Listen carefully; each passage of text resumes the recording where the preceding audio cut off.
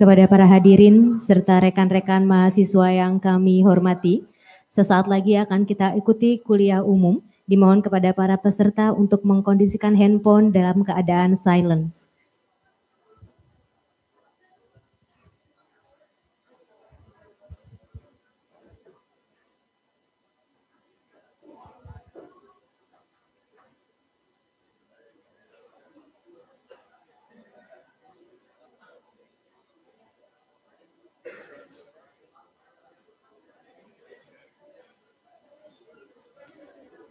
Bismillahirrohmanirrohim. Assalamualaikum warahmatullahi wabarakatuh. Yang terhormat, Dekan Fakultas Hukum Universitas Islam Indonesia, Bapak Dr. Abdul Jamil SHMH. Yang kami hormati, narasumber kuliah umum pada pagi hari ini, Bapak Tahir Musa Lutfi Yazid SHLHAM CLI CAL. Yang kami hormati, Ketua Program Studi S1 Ilmu Hukum Fakultas Hukum Universitas Islam Indonesia, Bapak Dr. Budi Agus Riswandi, SHM Hum. Yang kami hormati, Bapak Ibu dosen di lingkungan Fakultas Hukum Universitas Islam Indonesia, serta rekan-rekan mahasiswa yang berbahagia. Puji syukur marilah kita panjatkan kepada Allah Subhanahu wa taala yang telah memberikan limpahkan kesehatan, keselamatan dan karunia-Nya kepada kita sehingga kita dapat bersama berkumpul pada acara kuliah umum pagi hari ini tanpa suatu halangan apa pun. Selanjutnya, salawat serta salam tak lupa kita junjungkan kepada Nabi besar kita, Nabi Muhammad Sallallahu Alaihi Wasallam, yang telah membawa kita dari zaman kejahiliahan menuju zaman yang penuh dengan ilmu pengetahuan seperti yang kita rasakan pada pagi hari ini. Bapak Ibu hadirin serta rekan-rekan mahasiswa yang kami hormati, Perkenankan kami di sini membacakan susunan acara. Acara yang pertama yaitu pembukaan, dilanjutkan pembacaan ayat suci Al-Quran, dilanjutkan menyanyikan lagu kebangsaan Indonesia Raya dan himne UII, acara yang keempat sambutan pimpinan, acara yang kelima agenda kuliah umum, dilanjutkan dengan agenda diskusi, dilanjutkan dengan penyerahan cenderamata dan yang terakhir penutup. Bapak Ibu hadirin serta rekan-rekan mahasiswa yang berbahagia, demi lancarnya acara pada pagi hingga siang hari ini, marilah kita bersama-sama membuka acara dengan bersama membaca basmalah. Terima kasih. Selanjutnya, pembacaan ayat suci Al-Quran kepada beliau kami persilahkan.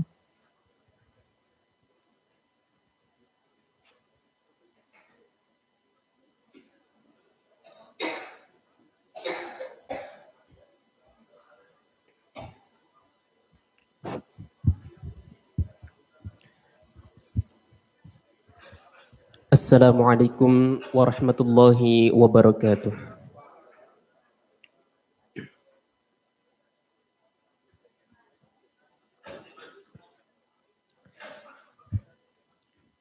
أعوذ بالله من الشيطان الرجيم.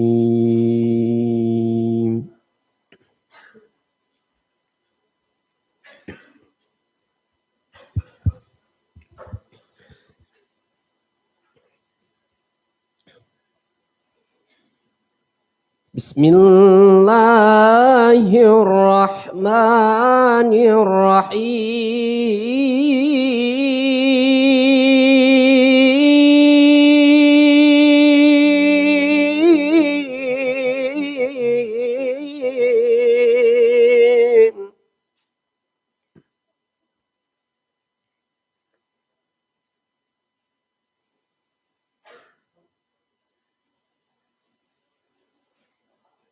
يا أيها الذين آمنوا إذا قيل لكم تفسحوا في المجالس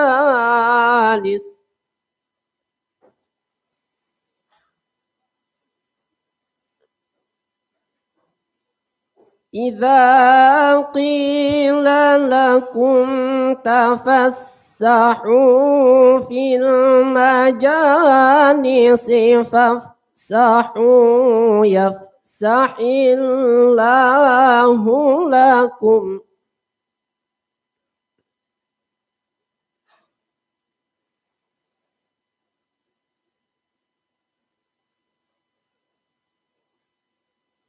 وإذا قيل انشزوا فانشزوا يرفع الله الذين آمنوا منكم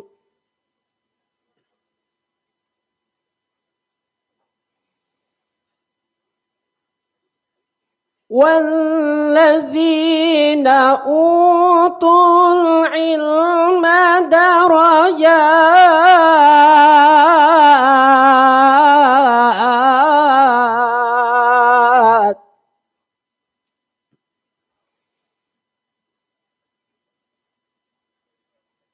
والله بما تعملون خبير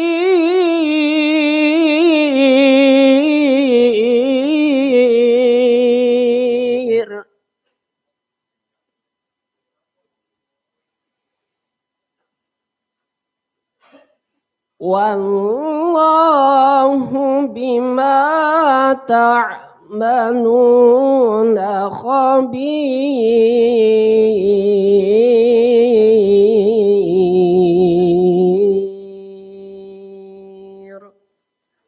صدق الله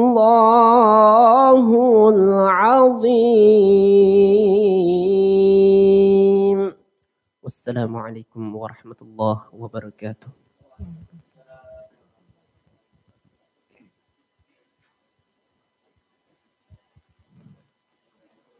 Hadirin yang kami hormati, acara selanjutnya menyanyikan lagu kebangsaan Indonesia Raya dan himne UII. Hadirin dimohon untuk berdiri.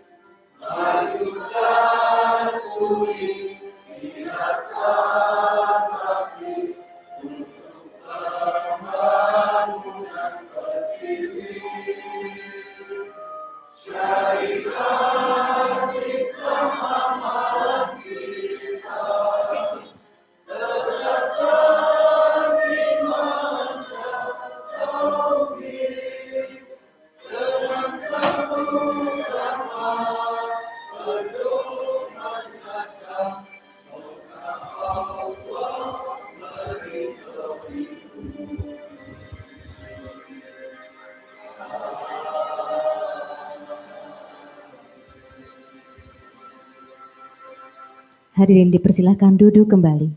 Terima kasih.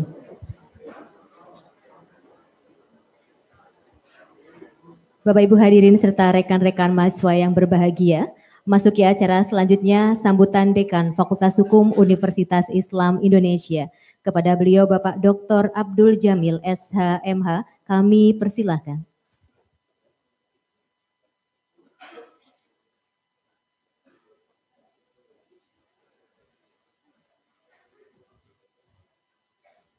Assalamualaikum warahmatullahi wabarakatuh. Alhamdulillah wa syukurillah ala ni'matillah la hawla wa la quwata illa billah. Asyhadu an la ilaha illallah wahdahu la syarika wa asyhadu anna Muhammadan abduhu wa rasuluh. Allahumma salli wa sallim wa barik ala nabiyyina Muhammad wa ala alihi wa sahbihi ajmain. Amma. Yang saya muliakan pembicara yaitu Bapak Tahir Musa Lutfi Yazid Esa LLM CLI yang saya hormati Bapak Nanda Sutrisna Esa M Hum LLM PSD yang saya hormati Bapak Kaprodi S1 yaitu Bapak Dr. Agus Budi Respandi Esa M Hum Ketua Departemen Hukum Internasional Ibu Wartini Dr. Ibu Wartini Esa M. Hum Sekretaris Prodi IB yaitu Bapak Dodi Esa M. Hum LLM PSD dan para mahasiswa Fakultas Hukum Universitas Islam Indonesia yang saya banggakan dan yang saya cintai. Patut untuk kita syukuri pada pagi hari ini kita bisa berkumpul bertemu di ruangan ini dalam kondisi yang sehat walafiat. Mudah-mudahan apa yang kita terima pada pagi hari ini oleh Allah Subhanahu wa taala tetap diberikan kepada kita sekalian sampai dengan akhir hayat kita. Allahumma amin. Hadirin adik-adik yang saya muliakan, yang saya cintai dan yang saya banggakan. Pagi hari ini kita akan melaksanakan satu kegiatan kajian ilmiah. Bagaimana Allah memberikan satu penghargaan dalam forum ini. Sebagaimana tadi disampaikan oleh Korik bahwa Allah memberikan satu derajat yang mulia kepada adik-adik mahasiswa yang atau siapa saja yang ikut di dalam jamuan ilmiah pada pagi hari ini. Saya atas nama Dekan Fakultas Hukum Universitas Islam Indonesia mengucapkan banyak terima kasih kepada Bapak pembicara. Kalau dilihat dari judulnya ini memang Pak Tahir Musa Yazid eh, Lutfi Yazid ini adalah sudah kompetensinya. Beliau luar biasa memang di bidang ini. Saya tahu persis bahwa memang dia mempunyai kompetensi ini.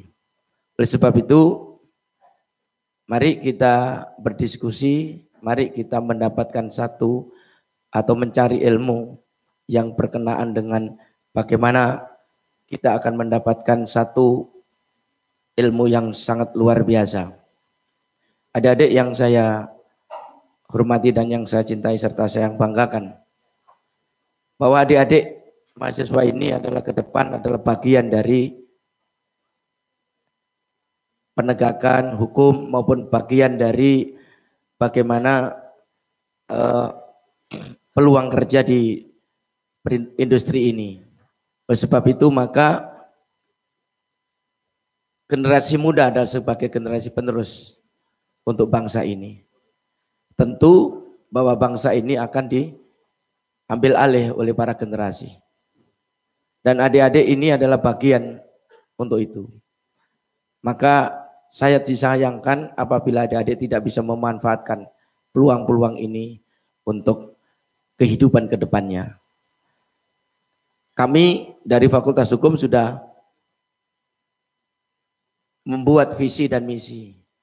Salah satunya adalah kalau dimaknai secara luas adalah kita akan mengambil bagian ini. Dan tentu proses pendidikan kita adalah juga bagian dari mengambil peluang ini. Oleh sebab itu maka kami dari berbagai metode, berbagai, berbagai cara bagaimana adik-adik bisa sadar bahwa memang adik-adik adalah generasi ke depan, generasi yang akan datang, yang tentu tidak boleh mengabaikan peluang-peluang ini. Sebab itu maka pada pagi hari ini kita akan mendiskusikan itu. Yang selanjutnya saya atas nama Dekan Fakultas Hukum mengucapkan banyak terima kasih kepada pembicara, kepada moderator yang berkenan untuk memberikan pencerahan kepada adik-adik mahasiswa ini. Ini memang tidak semua Pak Yazid, ya Pak Lutfi, ini tidak semua hadir. Karena ini hanya uh, yang berminat saja. Karena Fakultas Hukum ini kalau di total jumlah mahasiswanya adalah 2000 kurang lebih 2300-an. Ya. Nah, adik-adik ini adalah sebagian saja yang berminat di bidang ini. Sehingga e, memang apa namanya sehingga kelihatan memang sedikit meskipun ini penuh gitu ya. Karena kapasitas ruangan ini tempat duduknya hanya kapasitasnya ada 100 dan ini saya lihat ini lebih dari itu. Karena ini sudah ada yang duduk-duduk di belakang tidak apa namanya tidak kebagian kursi dan di luar juga masih banyak.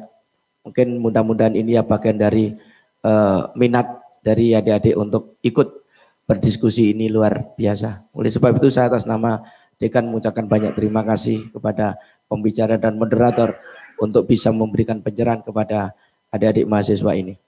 Yang selanjutnya saya atas nama Dekan tentu panitia dalam melaksanakan ini ada kekurangan itu pasti karena manusia biasa. Oleh sebab itu maka saya atas nama Dekan mohon maaf atas kekurangan yang menyebabkan ketidaknyamanan mungkin juga bagi pembicara, mungkin bagi yang lain atas ketidaknyamanan ini saya mohon maaf yang sebesar-besarnya. Sekian sambutan saya kurang lebihnya mohon maaf. Billahi hidayah wa taufik. Walafu minkum. Assalamualaikum warahmatullahi wabarakatuh.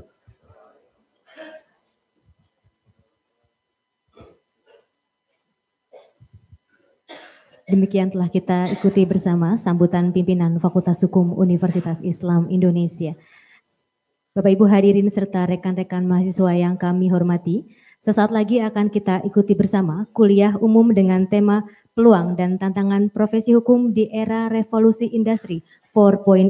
Untuk itu kita akan panggilkan moderator kita pada pagi hari ini, beliau Bapak Nandang Sutrisno, SHM Hum LM PhD. Kepada beliau kami persilakan.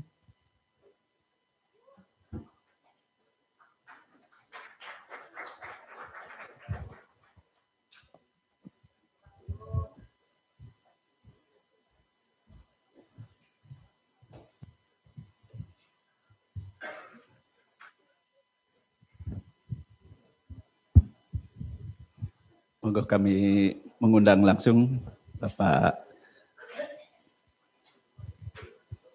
Lutfi Yasid.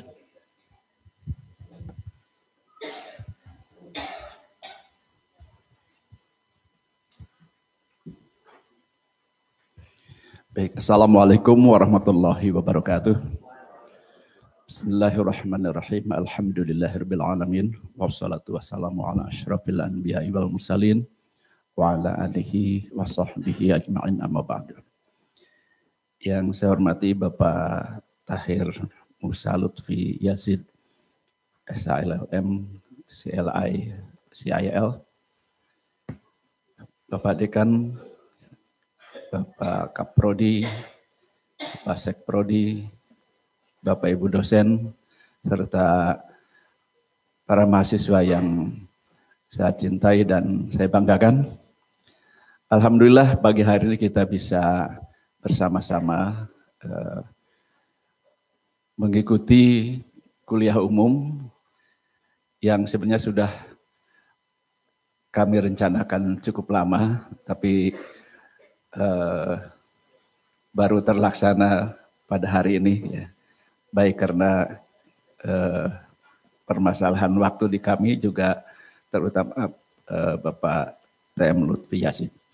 Maaf saya memanggilnya Bapak TM Lutfi Yasin karena ini yang nama populer beliau ya yang saya ikuti di media massa gitu. Uh, sejak dulu Pak saya juga selalu membaca opini-opini uh, Bapak di uh, berbagai media massa gitu ya.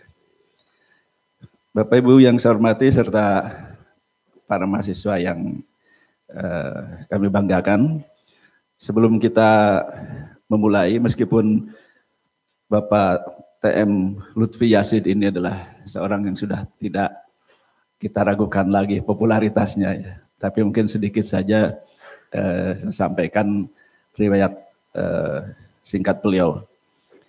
Yang pertama beliau lahir di Jember ya, Jawa Timur.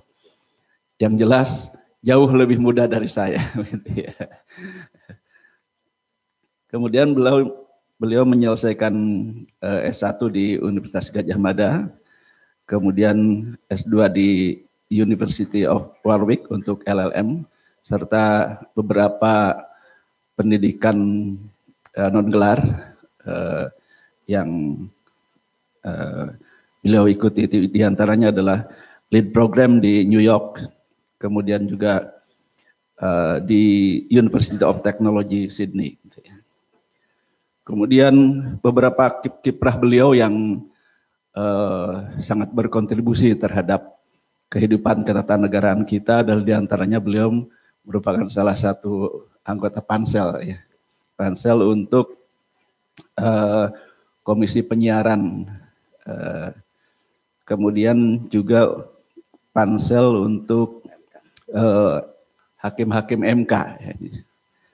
kemudian juga uh, kelompok kerja untuk uh, peraturan Mahkamah Agung tentang mediasi yang terkait dengan peradilan. Belum lagi juga beliau uh, merupakan salah satu awardee atau pemegang penghargaan dari Rockefeller Foundation serta uh, pemegang British Chevening Awards, kemudian juga uh, menjadi salah satu uh, penyeleksinya juga Chevening Awards ya. Uh, organisasinya juga banyak sekali ya, ada di ke advokatan ya, kemudian di kagama, kemudian di uh, apa ya?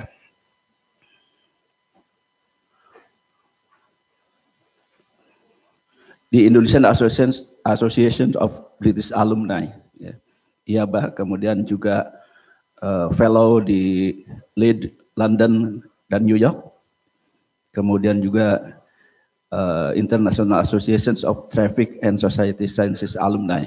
Jadi banyak sekali kiprah beliau. Belum lagi kemudian tulisan-tulisan ilmiah beliau serta tulisan-tulisan opini yang sangat mencerahkan bagi kehidupan uh, hukum di Indonesia juga uh, banyak sekali beliau uh, tulis ya, di berbagai media uh, ternama di tanah air.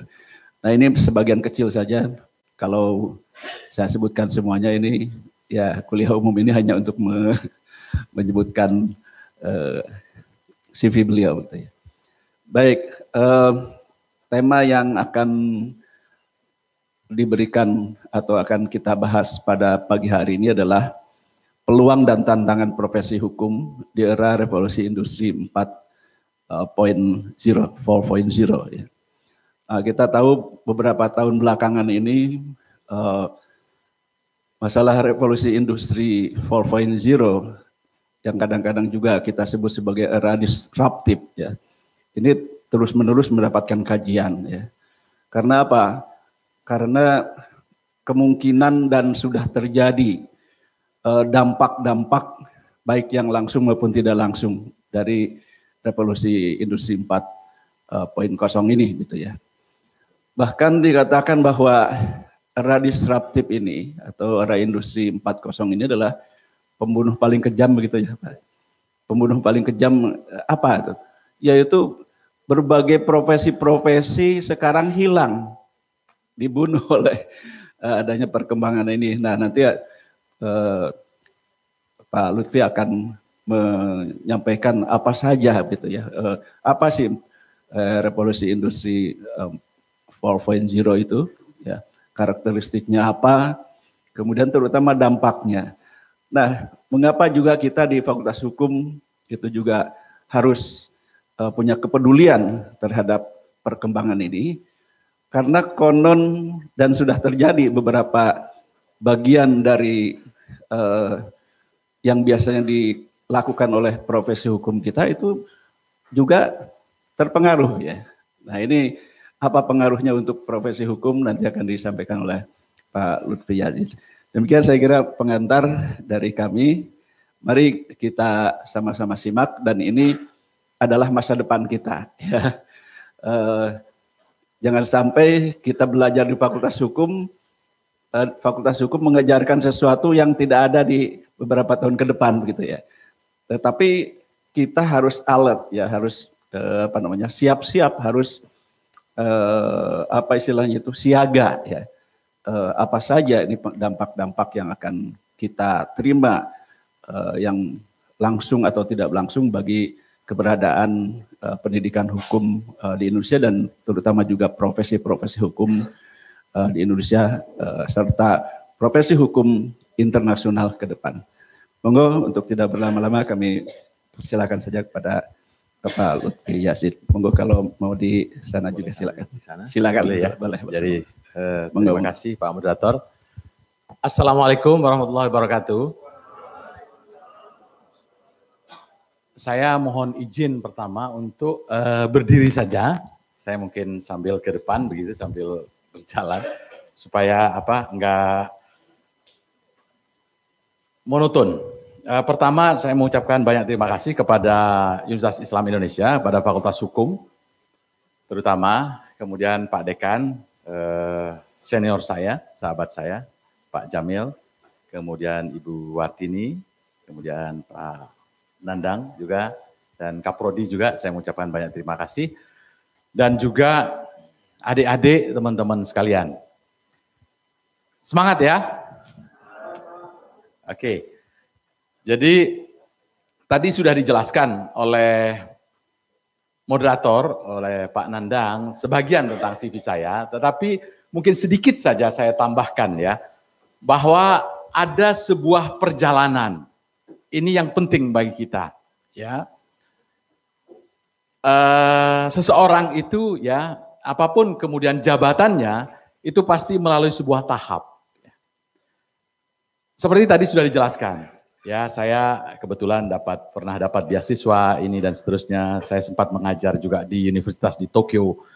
Tetapi dulu ya ketika saya masuk ke Yogyakarta tahun 83 84 ya.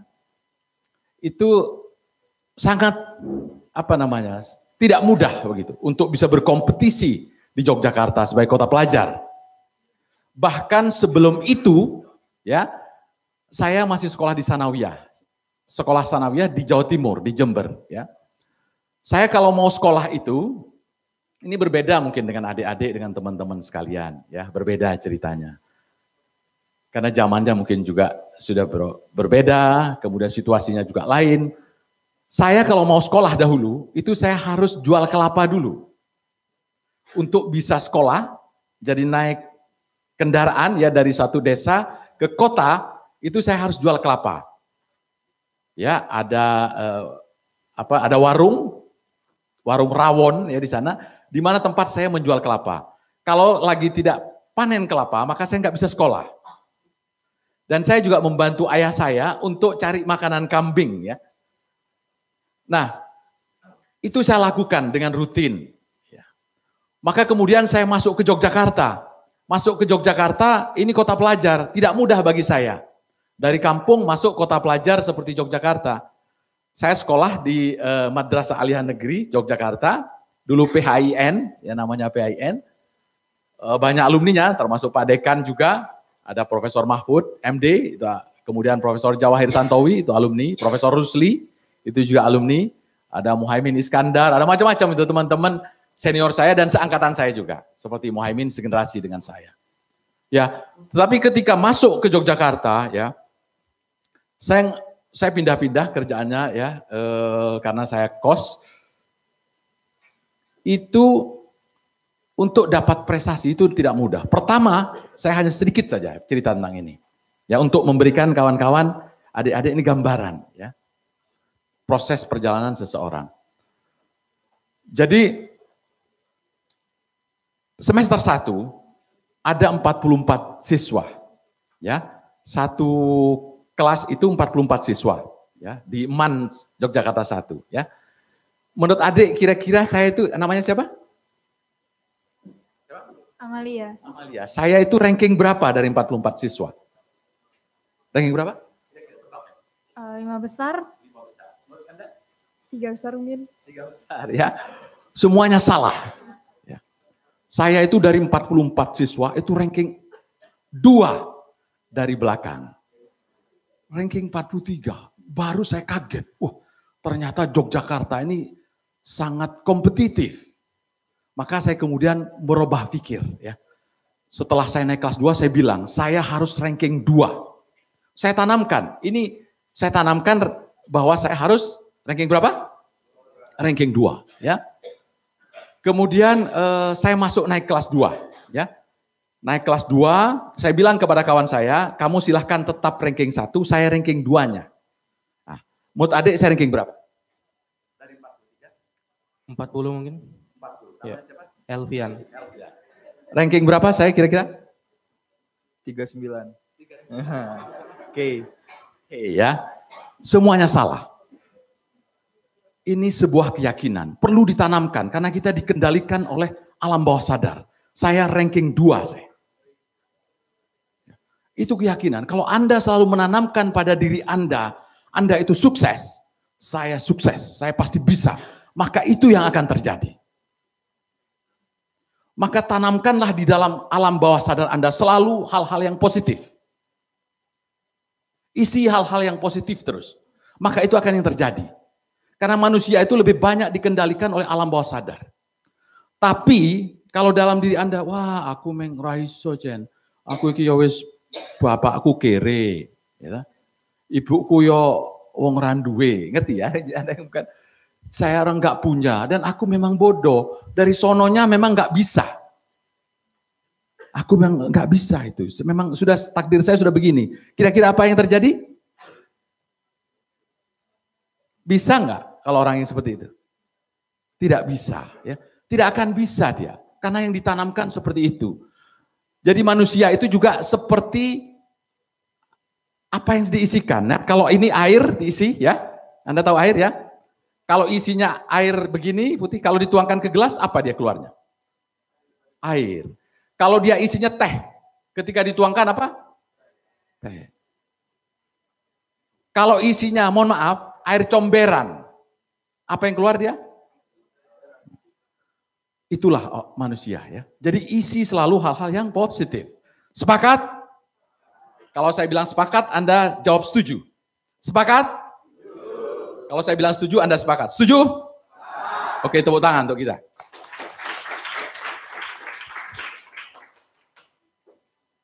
Jadi kita ini, eh, Anda ke sini kan ada amanah dari orang tua. Betul apa betul? Anda ke sini untuk jalan-jalan, main-main, atau hura-hura? Untuk apa Anda ke sini, ke Jogja? Hah? Apa? Pesan orang tuanya ke sini? Untuk belajar. Tika. Tika ya, untuk belajar ya. Anda ke sini untuk belajar, untuk apa lagi?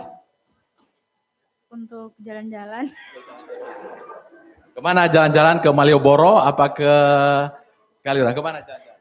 Enggak Pak, untuk belajar dong Pak. Oh, untuk belajar ya, tepuk tangan tuh dia. ya.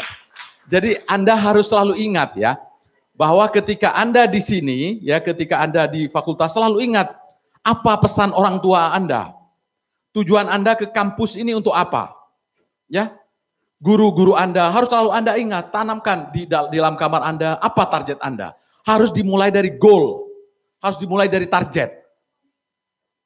Jadi kalau targetnya ke Taman Siswa, lewatnya apakah dia lewat Timoho atau lewat shopping center, enggak masalah. Yang penting sampai ke sini. Jadi tanamkan dahulu adalah tar target atau goal Anda di sini. Nah, kemudian Anda bikin detail, ya bikin roadmap. Anda mau apa selama di Fakultas Hukum? Apa yang akan Anda dapatkan selama kuliah ini?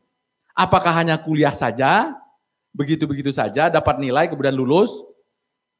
Atau Anda ada nilai tambah yang bisa Anda dapatkan? Apakah networking, pergaulan, apakah organisasi, pertemanan, dan lain-lain. Kemampuan intelektual dan lain-lain. Anda harus tanamkan di dalam diri Anda. Ingat pesan orang tua itu.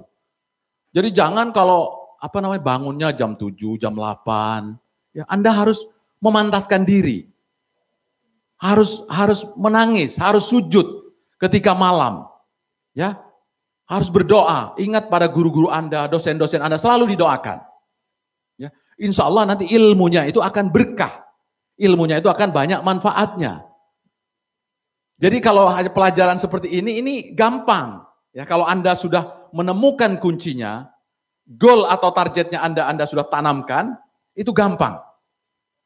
Ya, ilmu apa pun nanti akan mudah. Ya. Anda memang generasi yang berbeda dengan saya, dengan Pak Dekan, dengan Ibu, beda. Anda mungkin apa? Y generation, ya. X generation atau Y generation? Z generation, ya. Z generation. Berbeda, ada studi di Fakultas Psikologi Universitas Indonesia bahwa generasi-generasi baby boom generation, ya kan? Traditional generation, X generation, Y generation, Z generation itu ekspektasi hidupnya itu berbeda-beda. Harapan-harapan hidupnya berbeda, ukuran-ukuran suksesnya berbeda. Ya ini hasil studi di uh, Fakultas Psikologi. Jadi kalau generasi Anda biasanya ya itu kurang sabar. Ya. Anda apa namanya? singkat-singkat. Anda generasi Anda ya, biasanya. Makanya kelemahannya itu harus diatasi. Anda membaca satu paragraf saja sudah merasa pinter generasi Anda. Enggak sabar untuk membaca lebih mendalam. Betul apa betul? Ya, hanya baca judulnya, baca satu paragraf udah. Dan kalau di dalam pekerjaan, ya, itu mudah berpindah dari satu pekerjaan ke tempat yang lainnya. Tapi kalau generasi baby boom generation, kayak seperti saya atau seperti Pak Dekan, itu ada unsur-unsur kesetiaan yang lebih tinggi di dalam pekerjaan. Enggak apa-apa, dia di dalam satu pekerjaan, dia tidak apa namanya, eh, tidak naik-naik pangkat dulu, enggak apa-apa. Tapi tetap di situ dan suatu saat juga akan naik pangkat, akan diposisikan yang lebih tinggi. Berbeda dengan generasi-generasi Z generation, dia akan bertanya, saya masuk di kantor ini, apa kantor notaris, apakah di law firm, apakah di corporate, dan lain-lain, dia akan tanya, saya dapat beasiswa apa? Gaji saya berapa? Fasilitasnya apa saja? Ada insurance tidak? Detail sekali. Dan kalau tidak, generasi Anda itu cepat pindah ke tempat lain. Ini hasil studi dari Fakultas Psikologi. Nah, kelemahan-kelemahan semacam itu kalau digabung nanti menjadi sebuah kekuatan. Kalau Anda menyadari kelemahan Anda, maka eh, Anda akan menjadi generasi yang kuat ketika menjadi sarjana hukum, ketika masuk ke lapangan kerja dan lain-lain. Ya, kalau dunia hukum ya ini kita mengalami apa yang disebut dengan turbulence. Kita ini menghadapi disruption in legal industries ya. Banyak hal-hal ya yang sudah berubah di dunia hukum ya. Banyak hal-hal yang dulu kan kalau kita cari alamat, cari perusahaan, cari nama orang dan lain-lain pakai yellow page ya. Ya kan? Sekarang ada nggak yellow page? Tidak ada lagi. Kalau Anda misalnya di Jakarta mau pergi ke mana? Tinggal di sini pun juga begitu kan? Pakai Grab, pakai Gojek, pakai Uber dan lain-lain, betul? Ya, Anda bayar tol udah nggak ada orangnya lagi. Ya, seperti yang dibilang Pak moderator tadi, Prof Nandang bahwa banyak yang hilang pekerjaan-pekerjaan, semuanya dihandle. Nanti saya jelaskan bagaimana law firm dikerjakan oleh robot, bagaimana pengadilan bukan lagi manusia dengan online dispute resolution. Saya ceritakan di mana itu dan seterusnya. Saya ceritakan, tapi nanti ya. Saya ingin Anda juga pahami dulu dasar-dasarnya ya. Bagaimana mereview itu bukan lagi manusia, bagaimana eh, lawyer di masa yang akan datang seperti apa, pekerjaannya seperti apa, profesi-profesi di dunia hukum nanti saya jelaskan, ya. Tetapi yang penting bagi Anda sekalian, dasarnya yang harus pegang ya. Saya tadi mencatat ya, ah, pentingnya membaca ya. Tadi kan Kori tadi membaca ya. Eh,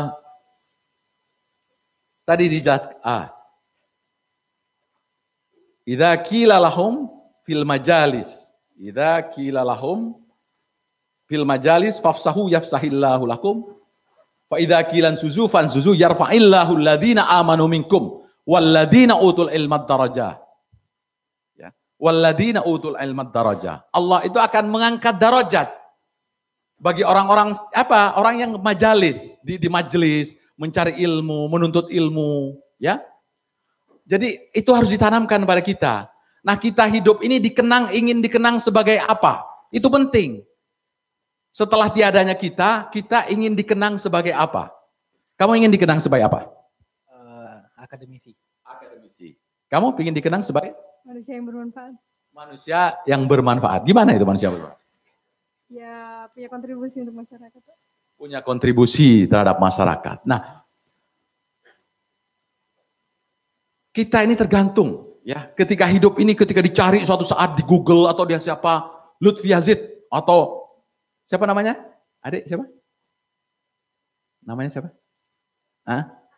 Anissa ya. Ketika Anissa dicari itu uh, akan oh dia dia pernah bermanfaat menjadi orang yang sangat bermanfaat pernah menolong orang miskin dia pernah uh, apa namanya uh, menjadi pendidik ya menjadi seorang penegak hukum dan lain-lain ya eh, tergantung kita ya ini sangat penting bagi kita tergantung niat kita jadi kadang-kadang ada orang yang meninggal ya toh tapi kalau amalnya banyak kebaikannya banyak ya maka meskipun meninggalnya sudah 100 tahun yang lalu masih dikenang dia. Oh ini, oh kontribusinya ini. Berbuat seperti Rasulullah misalnya, sudah sekian ratus tahun yang lalu, beliau tiada, tapi namanya terus disebut-sebut.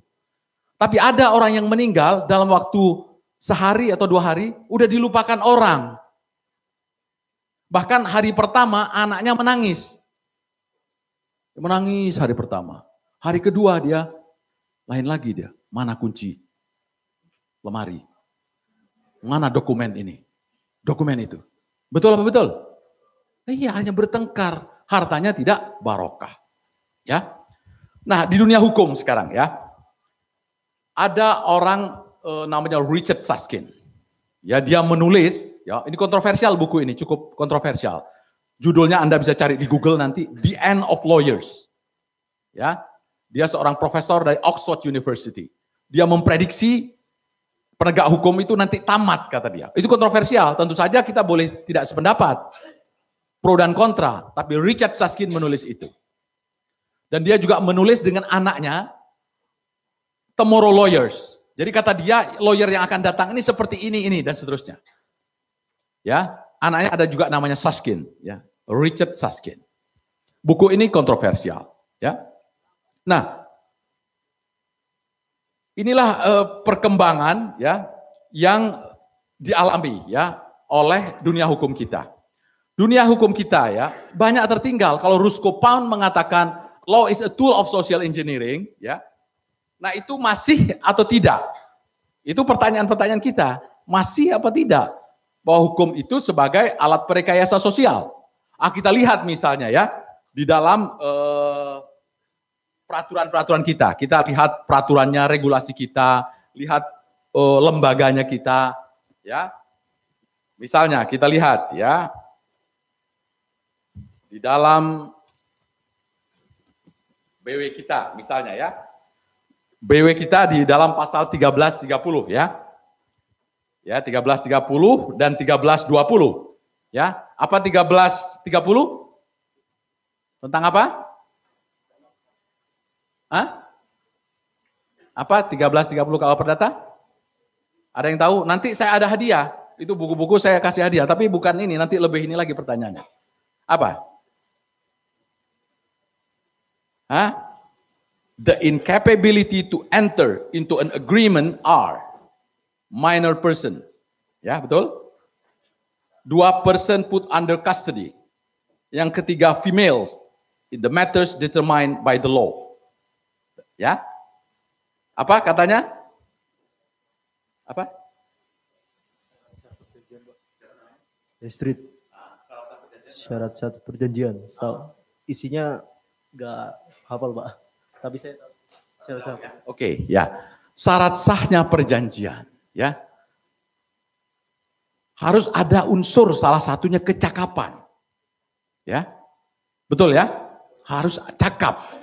Nah, persoalannya sekarang, anak SD misalnya kelas 5 SD bisa nggak dia melakukan transaksi? Dia beli apa kayak eh, Starbucks, beli takoyaki, bisa nggak? Pakai smartphone bisa nggak? Cakap apa cakap dia? Terus perjanjiannya sah apa tidak kalau begitu? Datang nggak takoyakinya atau Starbucks atau Pizza Hut-nya datang nggak? Dimakan ya? Dimakan. Sama kamu juga tak? Ya. Tertinggal sudah. Ya. Itu sudah terjadi di mana-mana. Anak-anak pakai smartphone udah datang itu makanan itu. Tapi hukum kita masih sampai di situ. Di dalam 1320 misalnya, BW juga ya. For the validity of an agreement need four qualifications. Satu, the consent of those who bind themselves. Dua, the capacity to make an agreement. Yang ketiga, a particular object. Yang keempat, a lawful cause. Kausa yang halal. Ini semuanya dengan adanya turbulensi, dengan adanya disruption, itu berubah. Kalau Anda sekarang HP, ya, HP semacam ini, iPhone misalnya ya, iPhone, kan Anda tahu mereknya kan dari gambarnya, betul? Tapi saya taruh di sana, kemudian saya telepon pakai ini. Dia bunyi dia. Ya. Tanpa harus Anda lihat itu mereknya. Ya, coba ya. Saya telepon sekarang. Ya, oke. Okay. Saya telepon dia. Anda tidak perlu lihat merek, nggak perlu lihat gambarnya, mereknya.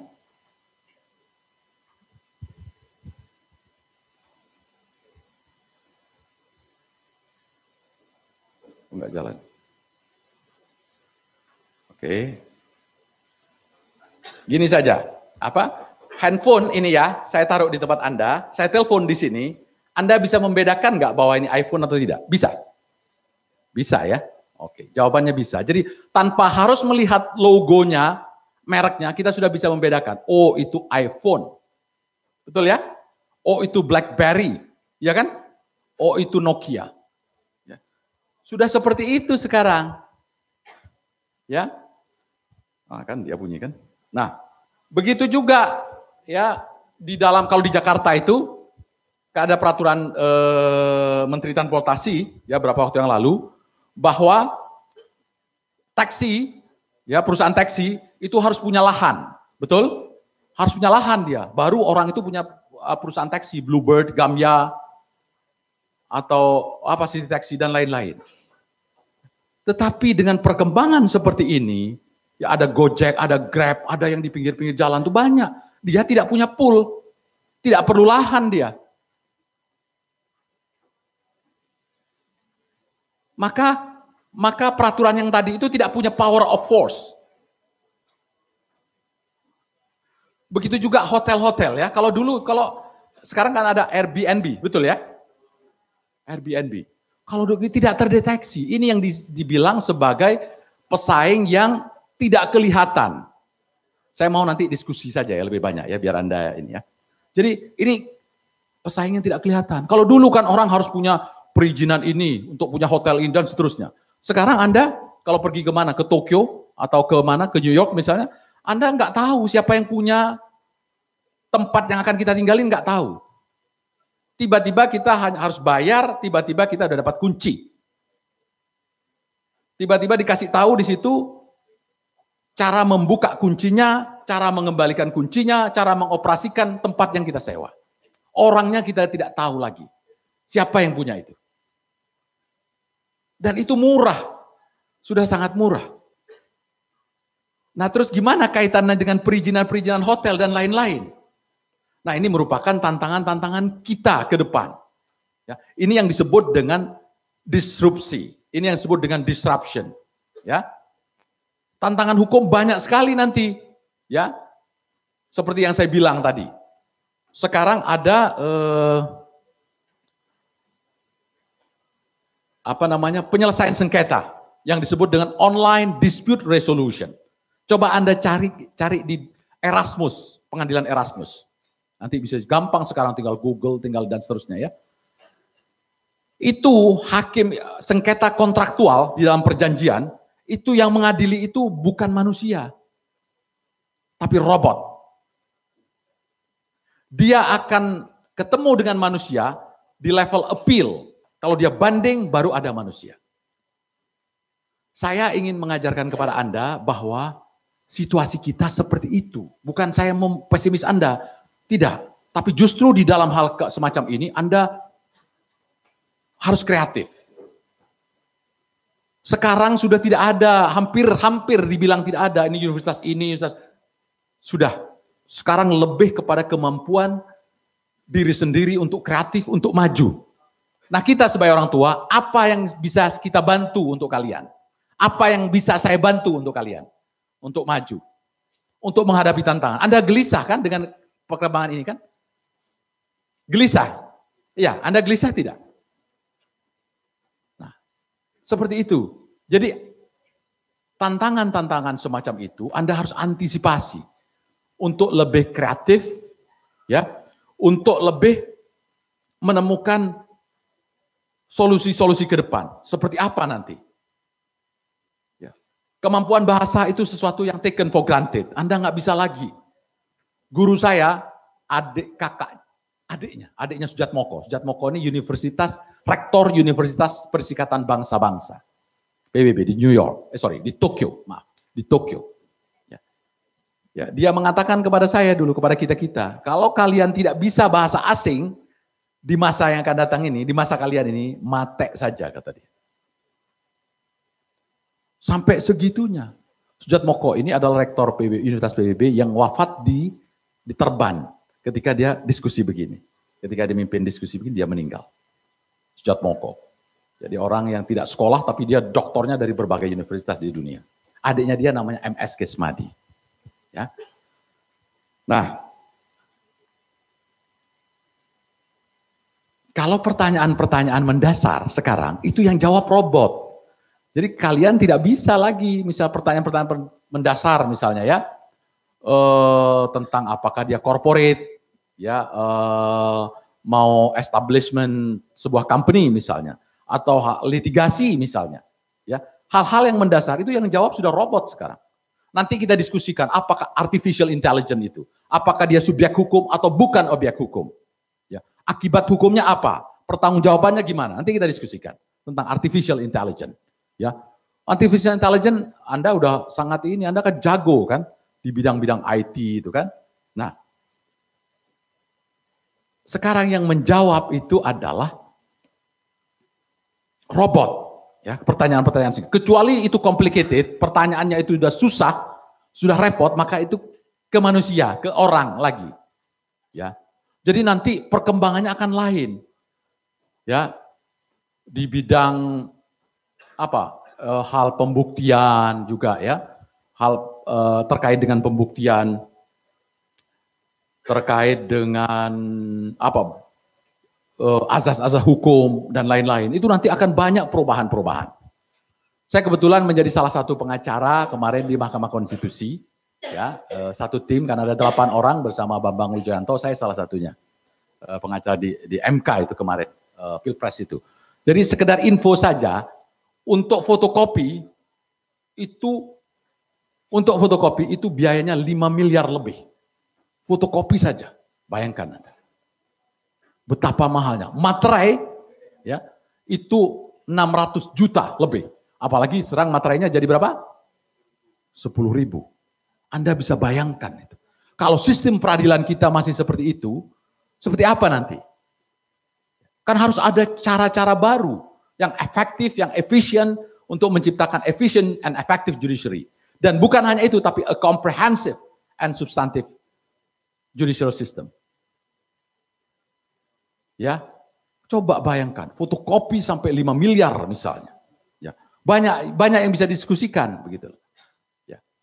Nah, sementara di luar sudah kayak gitu seperti yang saya bilang, online dispute resolution itu sudah di ini oleh European Union, Prof. European Union sudah mengendorse sistem ini. Jadi sistem online dispute resolution.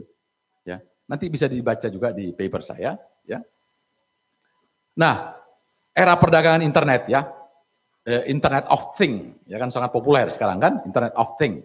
Ya, Amazon itu tahun 1995, Google 1998, PayPal itu 1999, Alibaba 1999. Bahkan di Inggris pada tahun 2014, retail online itu mencapai 200 miliar pound sterling. Arah situ. Nanti Anda harus kreatif, apalagi Anda dibekali spiritual. Orang-orang sekarang itu maju, tapi tidak punya spiritual capital. Jadi kalau alumni UI ini dahsyat-dahsyat. Ketika dia lulus dari sini, dia tidak apa ya,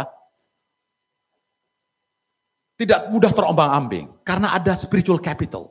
Jadi bukan hanya intellectual capital, bukan tidak cukup, tapi ada spiritualnya. Nah, situ kelebihannya UII dari dulu itu. Yang luar biasa. Anda harus kapitalisasi itu, kelebihan itu, ya. Karena ke depan akan akan nilai value itu akan menjadi penting.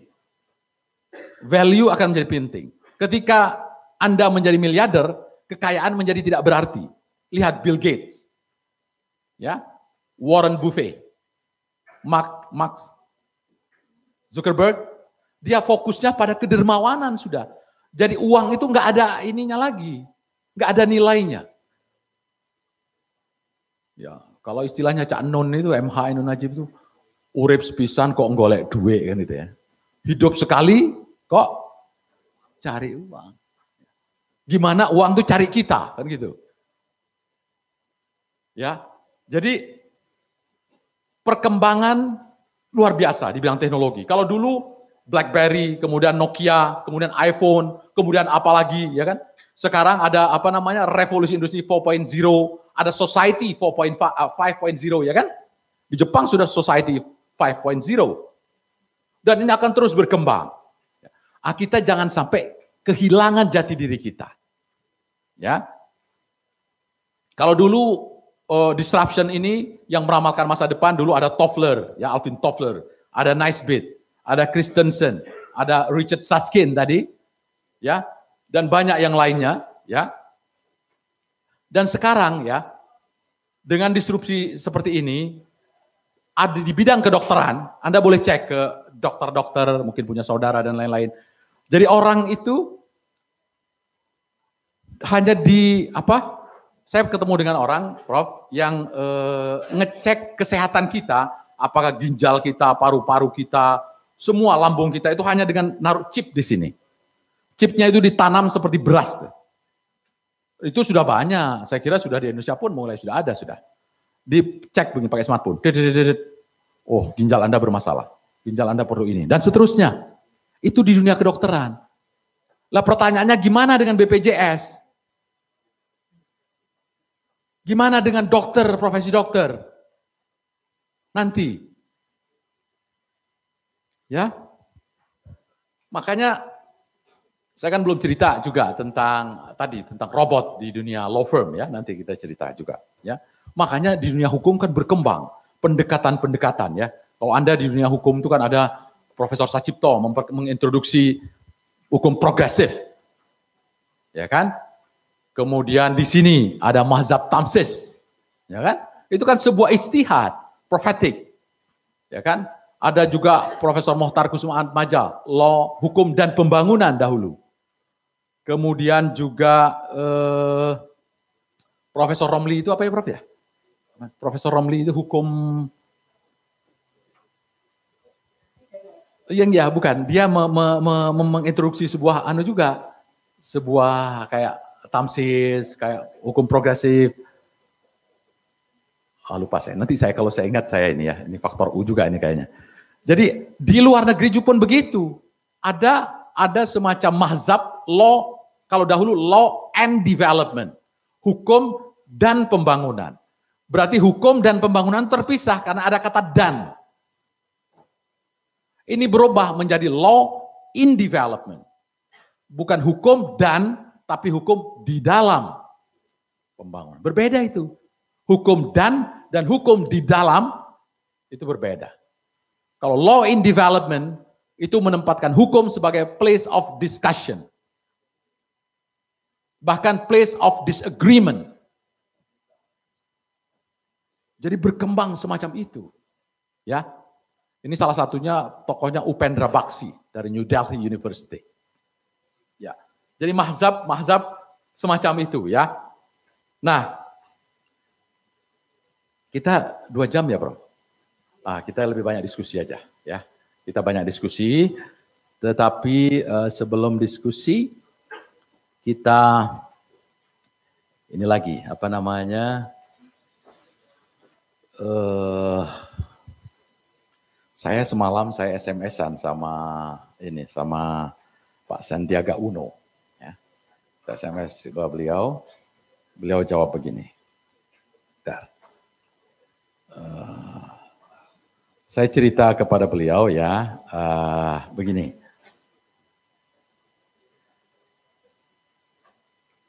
Ah, saya pernah menulis ya, saya pernah diundang, uh, saya ketika dapat beasiswa dari perjalanan saya dari Costa Rica ke New York, ya kan. Beasiswa itu tempatnya di New York ya, Rockefeller Foundation. Saya pergi ke Amerika Latin, dekat Panama. Saya pulang itu, kemudian di, diundang saya oleh orang bernama Benedict Anderson, ya dari Cornell University di Ithaca. Ya, diundang saya ke sana mengikuti sebuah acara, seminar dan beberapa kegiatan. Ah, kemudian di pojok di Cahen Center ada perpustakaan, saya baca buku kuno lama ya, buku kecil gitu, ditulis uh, oleh Amels. Judulnya waktu itu saya tulis musim autumn waktu itu 26 Oktober 94. Ini yang saya kirim ke Pak Sandiaga Uno tadi malam. Judulnya Hos Cokro Aminoto, Hidup dan Perjuangan oleh Amels. Penerbitnya Bulan Bintang 1952.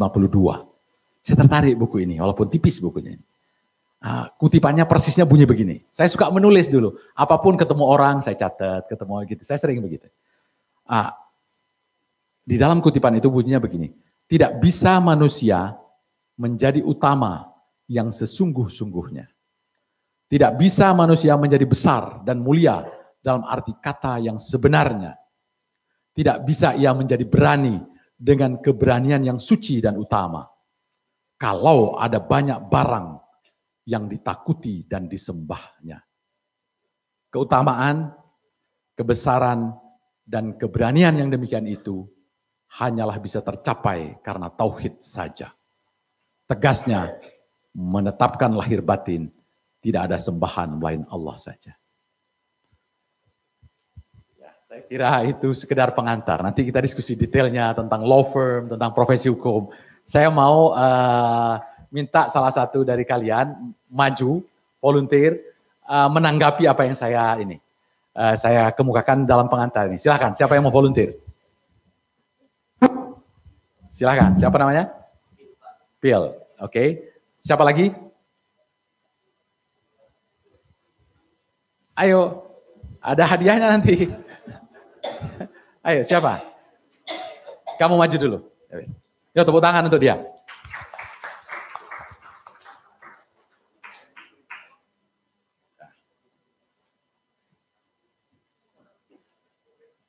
Sebutkan eh, namanya, kemudian dulu SMA di mana, sekarang semester apa, ambil jurusan apa, dan nanti mau nulis tentang apa. Silahkan. Maju, maju sini. Ini. Ya Pak, uh, ya, perkenalkan. Aduk ke temannya. Ah. Uh, hai, uh, perkenalkan nama saya Bill Fauzil. Saya kamu keturunan Amerika, ada Bill ya, Bill Tanner. Enggak Pak, ini sebenarnya karena kakek saya dulu pengganggu Bill Clinton, Pak. Presiden oh, Amerika. Iya, iya, iya. Jadinya oh, ya, Bill, ya. Dan untuk memudahkan password masuk USA. Uh, iya, iya. Bagus. Top, top. Ya, nah, terus? Uh, saya SMA dulu di Cibinong, di Kabupaten Bogor. Saya sekarang semester 8, Pak. Ya. Ya, uh, nanti nulisnya rencananya tentang AI, Pak. Sebenarnya agak nggak nyambung tapi cuman ini saya Tapi sebelum, uh, sebelum itu Cibinong itu kan dekat dengan UI, tapi kok kamu UII? Kenapa? Karena saya menyukai syariah, Pak. Alhamdulillah. Tepuk tangan. Ya kan? Hebat ya Bill ini ya. Ada itu ada dimensi spiritualnya. Nah, itu. Itu yang apa namanya? Yang intangible assetis itu. Ah, terus ya. Uh, yang sebenarnya Pak uh, hal ini sebenarnya ada keresahan sendiri Pak mengingat uh, banyak Resah ya kamu ada resah. ada resahnya soal uh, industri 4.0 apalagi uh, banyak teman-teman saya yang udah bekerja di startup tuh kalau misalnya kita reunian tuh dia cerita tentang bagaimana robot itu sekarang sudah memudahkan. Nah ini sebenarnya sesuai dengan yang Bapak tulis di ini menjauh ada pertanyaan yang sama dengan saya pikirkan di kawasan itu saya pikir apakah mungkin di masa depan nanti robot itu akan menjadi suatu subjek hukum yang di mana kemungkinan pemikirannya itu akan melebihi 0,001 detik dalam mencapai data. Karena kalau misalnya saya pikir dengan bantuan robot, peraturan-peraturan kita dan biayanya nanti itu untuk analisa terus eh, bagaimana ke depannya itu akan dipermudah dengan bantuan AI Pak atau artificial intelligence. Jadi eh, pertanyaannya apakah kita sebagai sarjana hukum harus juga mempunyai kemampuan dalam bidang komputerisasi atau data scientist Pak? Itu aja Pak pertanyaan saya. Ya, tar dulu sebelum kamu duduk. Itu tangan dulu untuk dia. Bill. Dia resah ya, dia resah. Karena resah, uh, saya kasih buku dulu satu supaya tidak resah. Sebentar. Ini judulnya Berdamai dengan Diri Sendiri. Nah, nanti Anda baca. Nah, ya. Berdamai dengan diri sendiri ya. Anda baca, nanti baca ya. Oke. Jadi bagus memang ya. Ini pertanyaannya bagus ya. Artificial, entar dulu. Artificial intelligence itu subjek hukum atau tidak ya. Sekarang ya, mobil ada suah kemudi, betul ya? Ada sudah, Telstar itu ada. Ya, Telstar ya. Tesla, sorry. Tesla, ya, mirip dikit ya. Tesla, itu suah kemudi itu. Ya, Itu tidak mau diganggu oleh manusia dia. Dia maunya robot saja. Karena manusia itu dianggap lambat. Tesla ya. Tesla. Jadi Tesla ini maunya dia nggak ada manusia aja. Pokoknya semua kendaraan oleh dengan dengan uh, apa robot itu. Nah, kalau terjadi kecelakaan misalnya, siapa yang bertanggung jawab? Nah, pertanyaannya. Tesla ini kan artificial intelligence. Pertanyaannya kalau terjadi kecelakaan nabrak dia. Kan masih ada pertanyaan-pertanyaan filosofis dong. Dia subjek hukum atau bukan? Yang bertanggung jawab apakah Tesla, apa the man behind Tesla? Yang ketiga, peraturannya bagaimana? Ya, regulasinya bagaimana mengatur Tesla seperti ini? Nah ini pertanyaan-pertanyaan memang belum terjawab sepenuhnya. Ya, dan masih terjadi kontroversi di kalangan hukum, tapi ini dibuat shock. Dunia hukum itu shock. Nih, jawab nih. Gitu. Teslanya sendiri pun tidak mau lagi.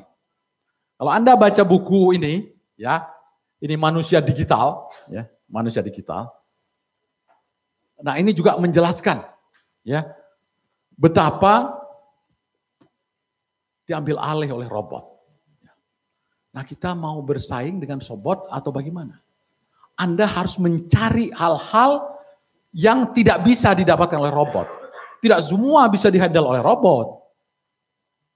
Ya, tidak bisa semua dihandle oleh robot. Ya.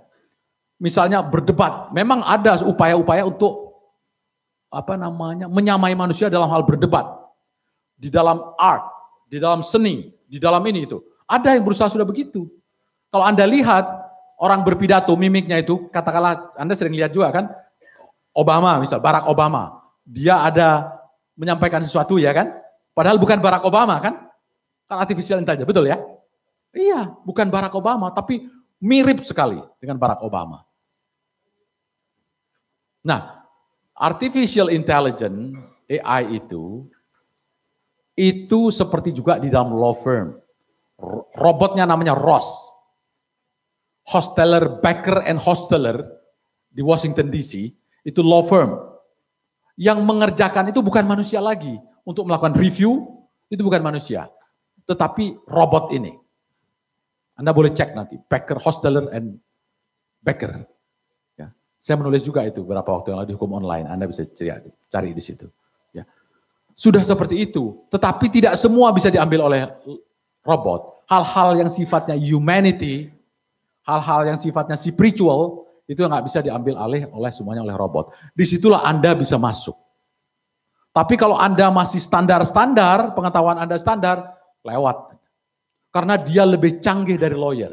Penelitian di Amerika, mereview kontrak itu lebih canggih robot daripada manusia.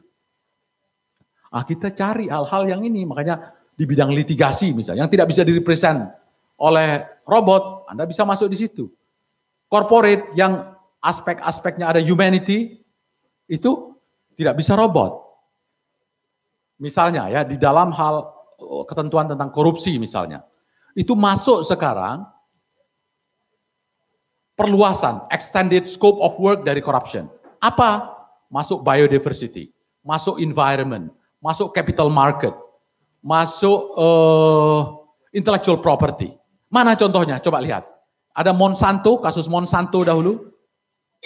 Pembibitan padi, eh, sorry, pembibitan kapas di NTT ada pejabat pejabat e, pertanian ditangkap, ditahan. Kenapa? Karena terkait dengan ini, invensi ya. Invensinya itu belum teruji. Kalau patent itu, kalau paten itu silakan dikoreksi saya kalau salah. Kalau patent itu tidak menunjukkan kemanfaatannya, kan ada beberapa syarat tuh. Ada novelty, ada uh, technologically applicable, kemudian apa gitu ya? Satu lagi, invention. Nah, ibu, makasih bu. Jadi kalau tidak ada itu salah satunya, maka tidak ada itu uh, patentnya tidak bisa digranted. Nah di dalam kasus Monsanto itu inventionnya itu belum ada, maka ditangkap ini. Kenapa? Karena dia memberikan memberikan uh, invensi tadi, ya kepada kepada ini pejabat. Makanya orang yang punya otoritas memberikan uh, perizinan dan lain-lain, ya. Kalau dia terkait itu tadi uh, apa namanya uh, bibit kapas, dia sudah memberikan dulu padahal belum teruji, itu bisa menjadi bahan untuk korupsi. Silahkan Anda nanti kaji lebih lanjut. Ya. Capital market juga misalnya. Di dalam uh, apa namanya capital market, tiba-tiba uh, listed company, tiba-tiba sahamnya dia naik secara mendadak, drastis dan masif misalnya. Dan di situ ada keterlibatan otoritas pemberi izin misalnya. Itu menjadi objek juga dari uh, perluasan skup dari korupsi. Begitu juga dengan biodiversity, environment memberikan izin, license untuk penambangan dan lain-lain. Ini kan ada pelatihan tentang hukum pertambangan kan kontrak pertama bagus itu ikut Anda sepanjang itu. Jadi jadi seperti itu apa namanya perluasan tentang uh, skup korupsi. Ya. Nah saya juga akan ya, pelajari tentu apa saya akan perdalami ya. Saya kebetulan ikut juga walaupun apa namanya saingannya banyak. Saya apply juga untuk sebagai komisioner KPK saya yang sekarang. Walaupun saingannya top-top juga ya. Tapi nggak apa-apa. Kita kan ingin berkontribusi saja. Apa pun kita kontribusi kepada bangsa dan negara ini.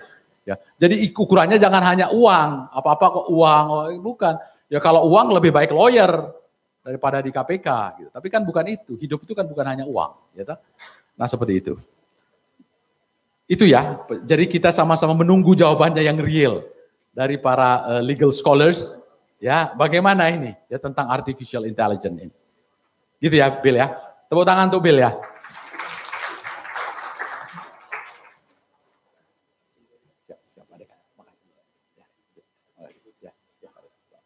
Terima kasih Pak Dekan ya.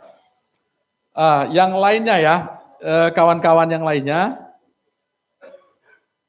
Silakan, siapa yang mau kasih ini? Ayo, mahasiswi, mahasiswa. Atau saya tunjuk? Hah? Oke, siapa? Ayo. Ayo. Ayo dong. Jadi kalau lawyer itu, kalau uh, mahasiswa hukum harus bisa bicara, meyakinkan orang. Anda ikut, Anda training-training speak to change misalnya. Ikut. Jadi bagaimana? Nah, saya apa namanya? Uh, ya hanya belajar aja. Saya dengan Anda ini sebetulnya sama-sama belajar. Tapi Anda harus tahu, gitu. Kalau Anda jadi sarjana hukum, terus Anda ditanya, begini misalnya, gimana? Ya saya no comment, saya, wah repot ya. Kalau Anda diwawancarai media misalnya, ya, televisi, Anda menjadi lawyer misalnya, menangani sebuah perkara. Anda diwawancarai misalnya, ya oke. Anda diwawancarai uh, Taufik ya namanya. ya. Anda misalnya menangani perkara misalnya, apa perkara apa?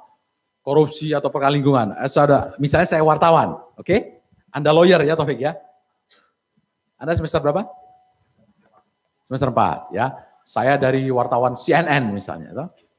Anda, saya nanya kepada Anda, uh, bagaimana Anda sebagai lawyer uh, strateginya, strateginya menangani klien Anda. Saya dengar bahwa Anda itu melakukan pendekatan-pendekatan non-legal. Yang ini sangat berbahaya, akan menjadi sorotan dari KPK misalnya. Gimana tanggapan saudara? Kalau untuk tanggapan itu, saya pikir itu hanya rumor ya. Karena pendekatan saya sendiri, semua tidak ada yang non-legal, semua legal. Jadi kalau ada isu-isu seperti itu, saya pikir itu hoax. Oke ya, kata Taufik itu hoax, itu rumor. Ya, Yang tanya tadi siapa? Wartawan. Taufik menjelaskan kepada siapa? Kepada kepada siapa? Kepada wartawan. Kepada publik dia. Dia bagi dia, kalau saya jadi dia, nggak penting wartawan tuh. Yang penting adalah publik, bagaimana pertanggungjawaban dia kepada publik. Wartawan tidak penting mau punya pertanyaan 20, nggak penting. Mau 30 pertanyaan, yang penting jawaban dia. Dia jawab tadi, ya misalnya, oh itu rumor, kata dia. Publik kan melihat, oh ya Taufik ini keren. Tapi dia ada yang kurang. Taufik harus menjelaskan, saya ini adalah lawyer profesional. Saya lawyer yang biasa menangani perusahaan-perusahaan, bukan hanya perusahaan nasional, tapi multinasional juga. Jadi saya tunduk kepada undang-undang undang-undang advokat dan kepada kode etik sebagai lawyer profesional. Itu orang-orang di Bali, di Sulawesi, Kalimantan, oh Taufik ini memang pengacara yang hebat. Dia wah begitu. Jadi bagi dia tidak penting pertanyaan saya. Tapi yang penting tapi kalau Taufik ketika ditanya, oh, saya no comment, no comment, no comment. Apa kira-kira?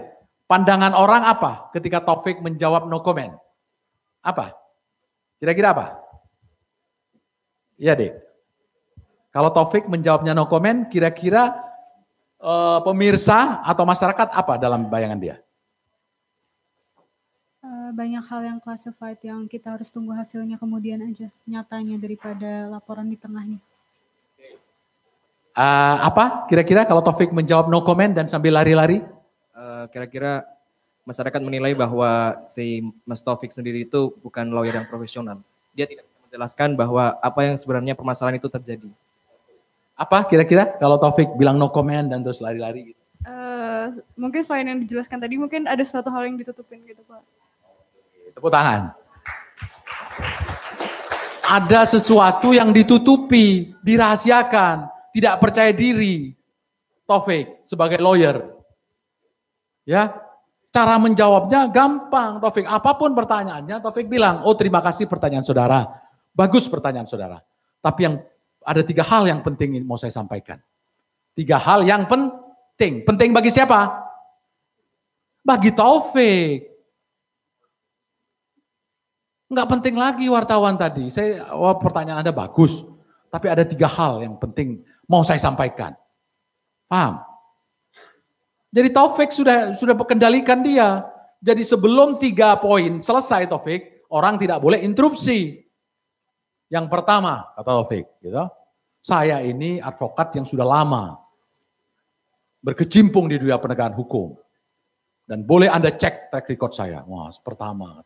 Yang kedua, wah, terus sampai ke ketiga.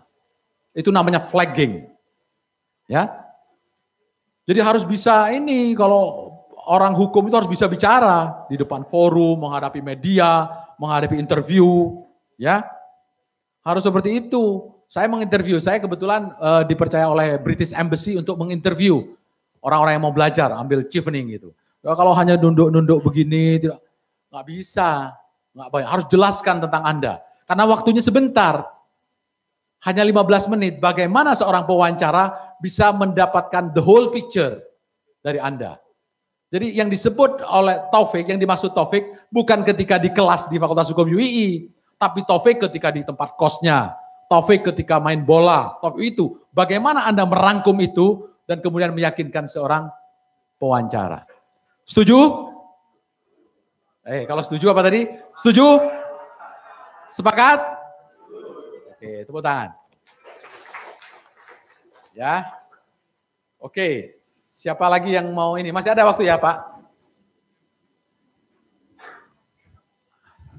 Ini biasanya yang duduk-duduk di belakang ini. Biasanya semangat biasanya ya. Saya percaya Anda itu yakin dengan masa depan Anda ya. Semangat dengan masa depan Anda, tapi Anda suka galau ya. Masih suka galau ya. Jadi itu harus banyak anu minum vitamin. Nah, ya, vitamin kepercayaan diri, vitamin untuk terus anu apa namanya? terus disiplin kepada diri sendiri, ya. Oke. Eh, kamu siapa namanya? Farid, Pak. Farid. Farid eh, semester berapa sekarang? Semester 2. Dulu dari Dari SMA 1 Jetis. Jetis? Bantul. Oh, Bantul. Ya orang berarti Wong Yojo ya. Oke. Terus nanti rencananya apa? Ambil apa? Eh, skripsi apa? Studi apa? Masih belum terpikirkan, Pak. Oh, belum terpikir. Ya. Ah, Itu kan profesi-profesi hukum itu kan banyak itu, ya. Itu Mbak, tampilkan. Itu ada hakim ya, ada jaksa, ada advokat, notaris apa? Anda yang tertarik apa? Saya lebih dominan ke advokat, Pak. Advokat. Oke, bagus ya. Apa pun ya profesi itu asal Anda itu apa namanya? Lakukan dengan sepenuh hati dengan ikhlas hanya mencari ridho Allah, maka insya Allah Anda akan dimudahkan ya. Itu banyak ada KPK, ada diplomat ya, ada yang expert di bidang eh, gas, perbankan ya, perusahaan sekuritas, corporate dan lain-lain. ya. LSM juga ya, LSM juga. Tapi yang dunia perbankan ini ya, saya ketemu dengan ahli IT beberapa waktu yang lalu, dia bilang kepada saya begini, ada ahli IT betul. Pak Lutfi katanya saya buatkan Pak Lutfi bank sendiri. Saya punya bank. Tinggal masukin nomor saya, nanti saya bisa tunjukkan ke Anda. Dia otak-atik, otak-atik, otak gitu. Saya sudah punya bank sendiri. Bisa cash, cash in, cash out. Dahsyat. Jadi jadi tolong Anda kaji juga, kalau yang berminat di dunia perbankan, kayaknya sangat ini ya, dunia perbankan itu sangat apa ya, eh, riskan sekali.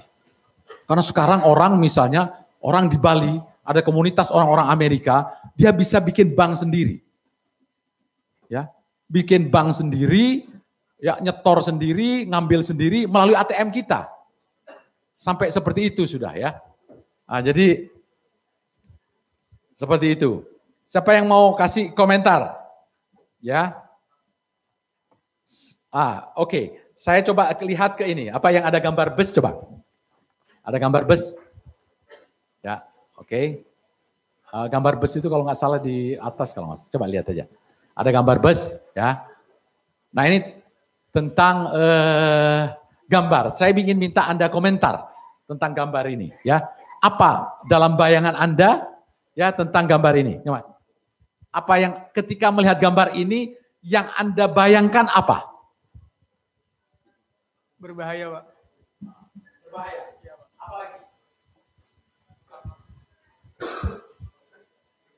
Berbahaya sama tidak tidak taat, Pak. Tidak taat, oke. Eh, apa deh?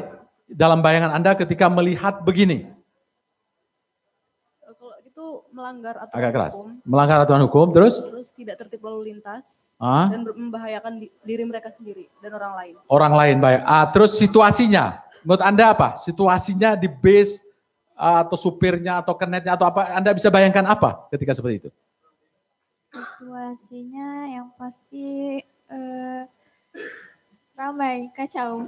Hah? Kacau. Oh, apa lagi?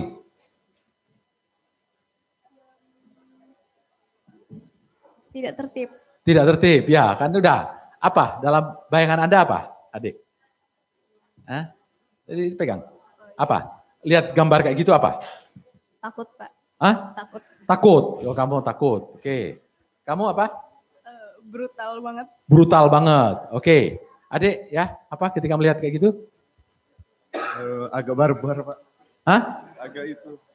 Agak apa tuh namanya gak tertib itu. Terus bahaya. Ada kepa anu nggak? Supirnya ada nggak menurut anda itu? Ada. Ada. Keneknya ada? Ah, ada. Terus kira-kira di situ keringet nggak orang itu? Ya, Hah? ya, Kemungkinan ada copet ada nggak? ada. Hah? Kok nggak disebut tadi? Nah, kalau menurut saya ya Pak, Ah. eh, kalau dari sisi yang dari Bapak yang jelasin awalnya tadi, menurut saya kalau kayak gitu, kalau di dunia pekerjaan, Hmm. itu kan kalau sekarang itu eh, pekerjaan sedikit, terus eh, yang ingin ikut itu banyak, jadi kadang eh, suatu tempat itu hanya muat 50 orang, tapi yang ingin masuk banyak orang, jadi eh, yang tidak bisa masuk berusaha ingin masuk dengan cara yang tidak benar kayak yang di atas lah kayak yang ngantol di samping kayak yang di belakang kayak gimana menurut saya Ada jaminan keselamatan nggak itu? kalau menurut saya kalau yang di atas sama yang gantol mungkin nggak ada jaminan keselamatan Enggak. Enggak selamat itu, pasti enggak selamat. Kalau menurut Anda ada peluang supirnya mabok enggak itu? Minum atau apa? Ada sih. Ada? Iya, soalnya membiarkan gitu loh. Ada, mungkin mabok juga gitu. Iya. Oke. Jadi gambar ini adalah gambar ketidakpastian. Tidak ada certainty. Tidak ada keamanan. Tidak ada kapan dia nyampe, kapan dia tiba, tidak jelas. Siapa yang menjadi supirnya juga tidak jelas. Keneknya siapa tidak jelas. Nah gambaran dunia peradilan di negara-negara yang masih belum maju adalah seperti ini. Jadi penyelesaian sengketa di negara-negara yang belum ada kepastian, belum maju adalah seperti ini. Tidak jelas kapan dia mulai, kapan dia berakhir. Siapa yang menangani, bagaimana putusannya, dan seterusnya. Itulah lembaga peradilan. Jadi singkatnya lembaga peradilan tersebut belum efisien dan belum efektif. Oleh karena itu maka ya, maka di dunia ini dicarikan solusi-solusi penyelesaian-penyelesaian yang efektif dan efisien itu. Ya. Itu ada di dalam eh, apa namanya? skema internasional. Ya, skema internasional penyelesaian sengketa. Nanti saya bisa jelaskan, ya. Nah, itu menyinggung juga dengan eh, disertasi dari Prof Nandang, Pak Murdato. Ada yang tahu disertasi beliau saya kasih hadiah. Tentang apa? Ada? Anda bisa beli itu disertasi beliau apa? Ada yang tahu? Saya kasih hadiah. Jangan cari di Google. Oh, Anda cari Google gimana? Gitu. Jadi terkait dengan penyelesaian sengketa ya ada WTO. Disertasi beliau terkait itu ya ada trade related intellectual property. Ada penyelesaian-penyelesaian sengketa yang efisien efektif dicari di berbagai negara, di berbagai yurisdiksi, dikembangkan sendiri, termasuk di Indonesia. Saya juga adalah salah satu kelompok kerja eh, Mahkamah Agung untuk mencari eh, metode-metode penyelesaian sengketa, perdata yang efisien dan efektif itu di Mahkamah Agung. Di negara-negara lain, di yurisdiksi yang lainnya pun begitu. Karena apa? Karena supaya tidak terjadi seperti dalam bus ini, serba tidak jelas, serba tidak pasti, tidak tentu. Ada yang mau tanya? Silakan. Ka- Kalian enggak ada jawab ya? Enggak bisa jawab, apa? Oke ya, sini. Nah, sini maju. Itu. Ya.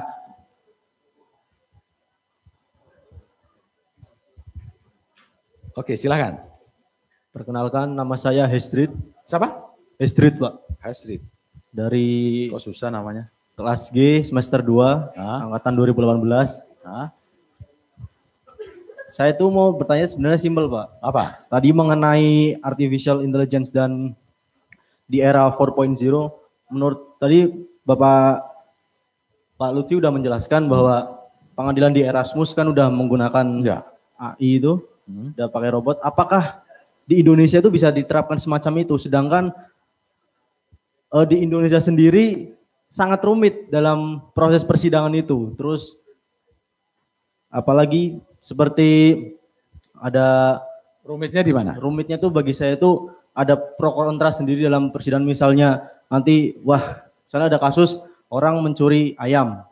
Misalnya ada orang yang nggak setuju, oh ini tuh sebenarnya mencuri ayam karena faktor ini. Ada lagi yang bilang karena faktor yang lain. Bagi saya kan itu kan suatu pro kontra di dunia persidangan. Kemudian itu bagi saya terus dari Bapak sendiri bilang di pengadilan Erasmus sudah menggunakan robot sebagai hakim itu dan misalnya nanti ada banding baru menggunakan manusia. Dan pertanyaan saya sebenarnya simpel, apakah di Indonesia itu sudah bisa menerapkan robot sebagai hakim itu di Indonesia? Eh, apakah dengan kondisi hukum yang ada di Indonesia seperti ini dengan sistem yang ada sekarang, apakah sudah bisa diterima oleh seluruh masyarakat Indonesia? Anda bisa nggak?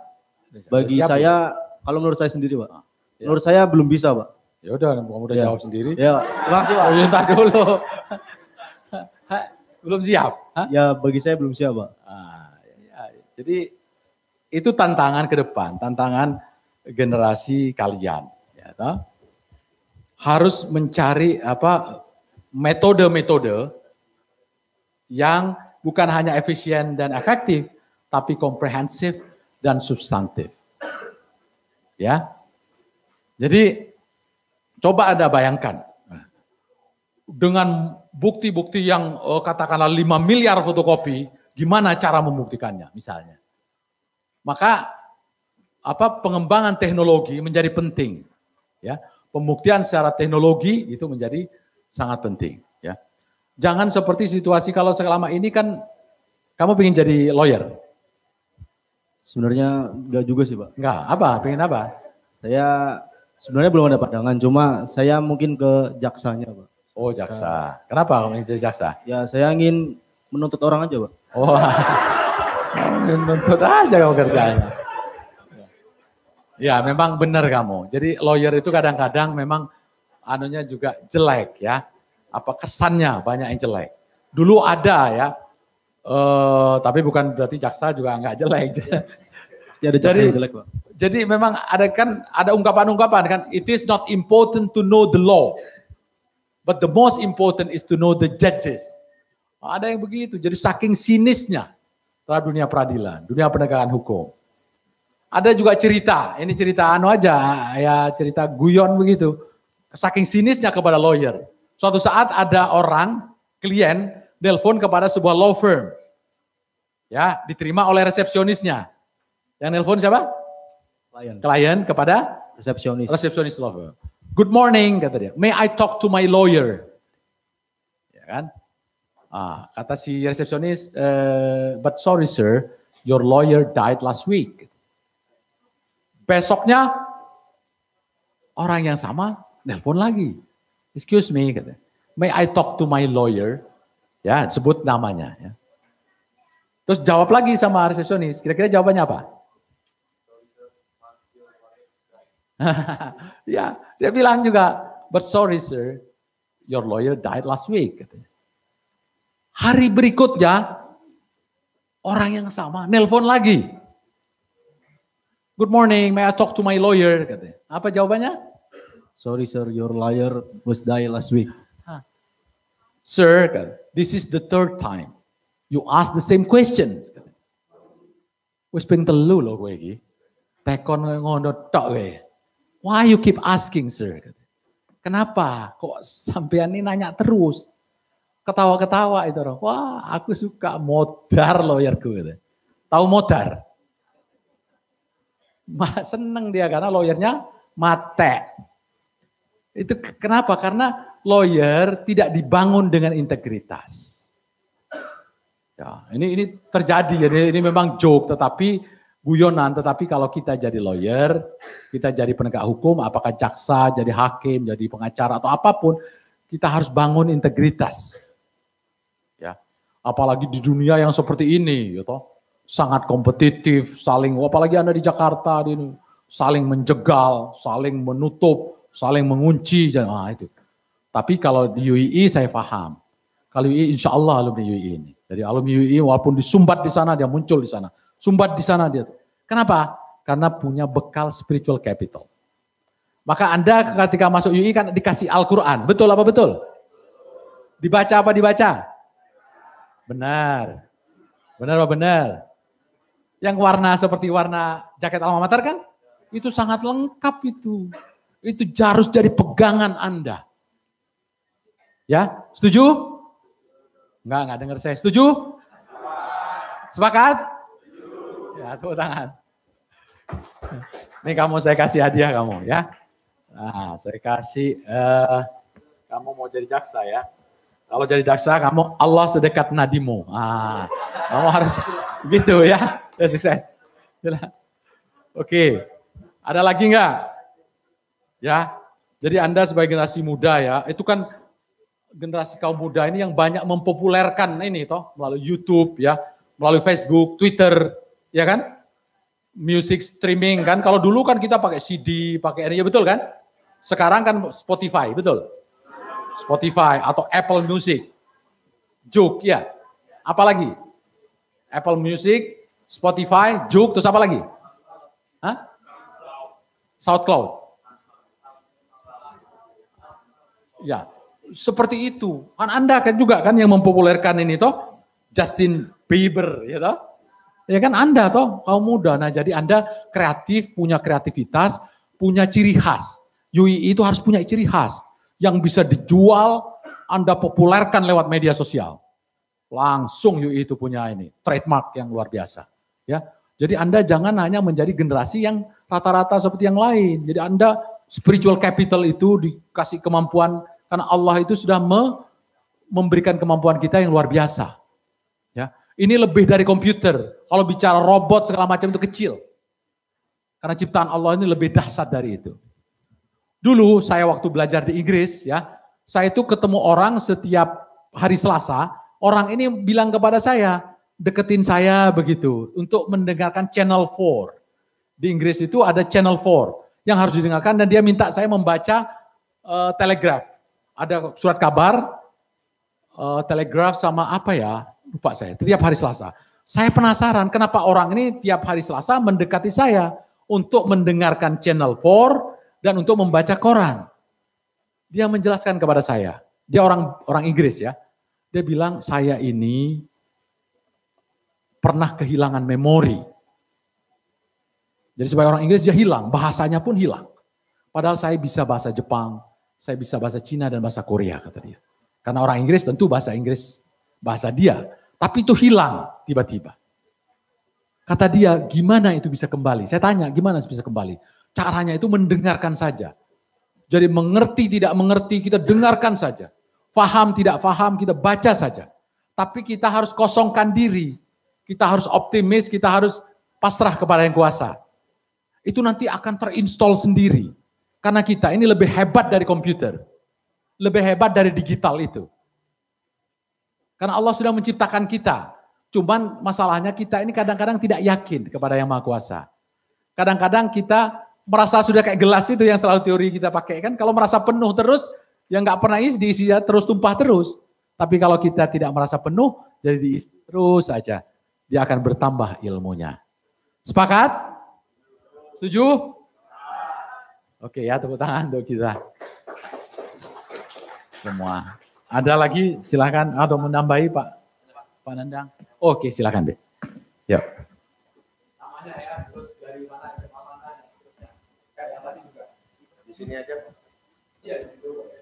Assalamualaikum warahmatullahi wabarakatuh. Nama saya Peri Maulana Septiandi.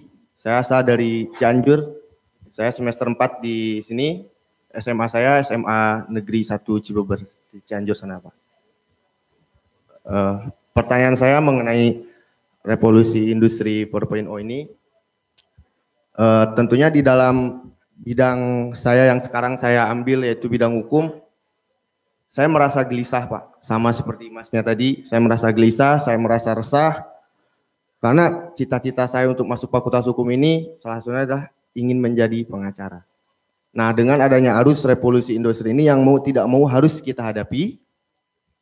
Pertanyaannya sangat mendasar sekali. Apakah saya, saya pribadi ini siap untuk berkompetisi dengan robot dan saya membaca beberapa tulisan Bapak juga di hukum online eh, mengenai review NDA itu non disclosure agreement tuh. Jadi eh, Amerika menggunakan 20 top lawyer dengan mereview NDA itu dia membutuhkan waktu sekitar satu jam setengah dan daya akurasinya pun 67 persen, 42 persen, sampai 94 persen. Sedangkan kalau dipakai dengan robot, sedangkan kalau kita menggunakan robot itu, itu hanya butuh waktu 26 detik dan daya akurasinya 94 persen. Nah, kemudian saya juga membaca ada pertandingan catur antara robot dengan manusia, manusia kalah di situ. Nah, pertanyaan saya, apakah saya sanggup menghadapi bersaing dengan robot seperti itu dengan kondisi Indonesia yang sangat minim, kecerdasannya pun minim, banyak sekian juta orang di eh, pedalaman yang masih stunting, sedangkan kita untuk menghadapi revolusi industri ini butuh butuh asupan gizi, butuh pemikiran yang yang siap. Nah, pertanyaan yang pertama yang tadi itu Pak, yang kedua, apakah revolusi industri ini akan berdampak kepada perubahan daya pendidikan di kampus-kampus misalkan? Karena menurut saya mungkin dengan adanya revolusi industri ini jelas eh, cara pembelajaran di kampus itu harus diperbaiki supaya kita bisa siap bersaing dengan robot. Itu saja Pak. Terima kasih. Wassalamualaikum warahmatullahi wabarakatuh. Assalamualaikum warahmatullahi wabarakatuh. Tepuk tangan. Bagus pertanyaannya ya. Jadi beliau gelisah katanya. Beliau gelisah tadi, galau. Kamu galau nggak? Oh, nggak galau deh kamu? Nggak galau ya. Jadi macam-macam menghadapi situasi seperti ini. Dan bukan hanya mahasiswa fakultas hukum, jangan lupa. Yang harus menghadapi realitas ini bukan mahasiswa fakultas hukum. Tapi seluruh umat manusia menghadapi ini sekarang. Tapi seperti yang saya bilang tadi, kita ini diberi kemampuan oleh Allah. Keyakinan kita. Ya. Dan kalau dimulai dari keyakinan, ya, makanya seperti yang saya bilang, kita ini dikendalikan oleh lebih banyak alam bawah sadar kita. Jadi harus tanamkan kepada diri kita selalu, saya bisa. Saya hari ini harus lebih baik dari hari kemarin. Ya kan? Kan ada hadisnya pun ada hadis Rasulullah itu kan. Jadi harus lebih baik hari ini dari hari kemarin. Hari esok harus lebih baik dari hari ini. Itu ditanamkan sebelum kita tidur. Kita apa prestasi kita hari ini? Kita oh hari ini saya membantu kawan, hari ini saya belajar membaca buku, saya selesai menulis ini dan seterusnya. Itu ditanamkan, diingat-ingat ketika kita tidur, kita berdoa. Ya, ketika berdoa kepada Allah, ya. Nah, karena senjata kita itu hanya berdoa sekarang. Belajar tentu saja itu merupakan suatu keharusan bagi kita, ya. Tapi ditanamkan di dalam diri kita, dikasih nutrisi tubuh kita ini, dikasih makanan tubuh kita ini untuk selalu yakin kepada takdir Allah. Karena ayatnya tadi yang dibaca teman Anda, Allah akan meningkatkan derajat. Ya, bagi siapa? Yang mau belajar tadi. Ya kan? Idza lahum tafassahu fil majalis fafsahu yafsahillahu lakum fa idza kilan suzufanzu yarfa'illahu alladhina amanu minkum. Ditingkatkan darajatnya. Jadi nggak usah takut dengan robot. Karena kita akan meningkat derajat kemanusiaan kita. Masalahnya yakin nggak kepada Allah, kepada Tuhan yang Maha Kuasa? Kita sering tidak yakin.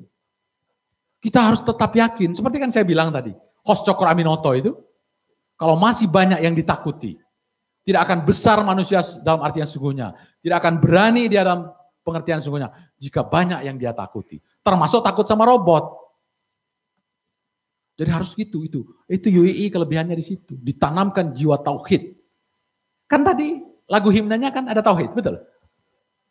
Itu ditanamkan itu, itu nggak main-main. Anda tahu nggak pendiri UII ini?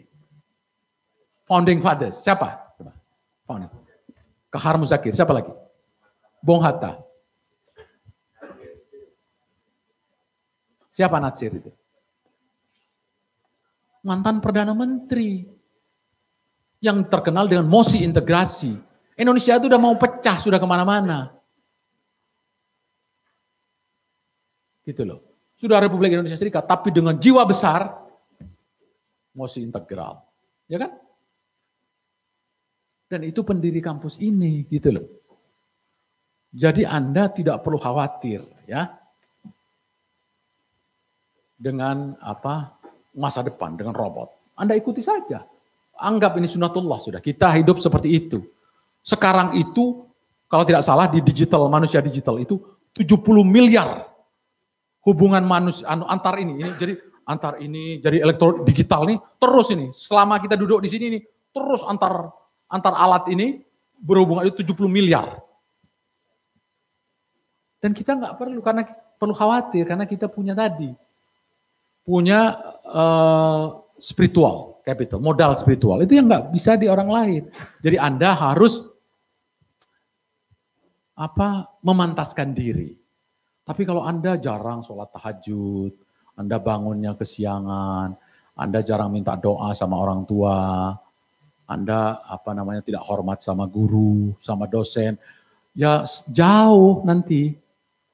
Itu syarat, ya kelihatannya memang apa kayaknya wah kok kuno, nggak boleh, bukan begitu, itu karena dasarnya di situ, karena perintah agama. Ya. Tapi bisa memang akan terjadi pandangan semacam itu karena kita terjadi gap generation tadi, Y generation, Z generation, baby boom generation, traditional generation seperti yang saya ungkapkan tadi itu. Tapi itu modal bagi kita. Ya. Setuju ya? Semangat ya? Sekarang yakin? Ah.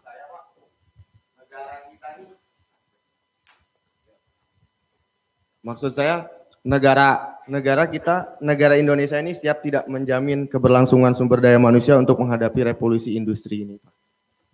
Itu ya, saja. makanya penting bagi kita untuk terus belajar mengisi pos-pos. Kalau Anda diamanahkan suatu saat Anda duduk di eksekutif, Anda duduk di yudikatif, Anda duduk di legislatif, ambil peran itu. Dan UI udah banyak, ya dalam satu periode misalnya UII ya, alumni UII itu ada menjadi uh, wakil ketua Mahkamah Agung Pak Artijo Alkostar ya kan pada waktu itu. Kemudian jaksa, wakil jaksa agungnya kalau nggak salah saya lupa namanya. Tapi Komnas HAM-nya siapa? Pak Darmono ya. Kemudian Komnas uh, Komisi Yudisialnya Suparman Marzuki. Kemudian uh, Komnas HAM-nya Ifdal Kasim. Itu UI Fakultas Hukum semua. Kemudian yang jadi banyak sekali itu dari UII, LPSK-nya. Si siapa lupa ya kawan kita itu. Itu dari UI. Jadi Anda ambil peran itu. Kalau Anda diberi kesempatan kepada Allah, diberi kesempatan kepada Allah, ambil itu.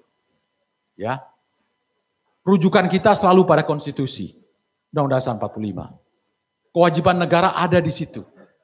Ya, itu sebacam konstitusi itu seperti kuasa, surat kuasa dari rakyat kepada negara. Negara harus melaksanakan itu. Pasal 1, pasal 2 dan seterusnya itu seperti scope of work. Harus dilaksanakan oleh negara.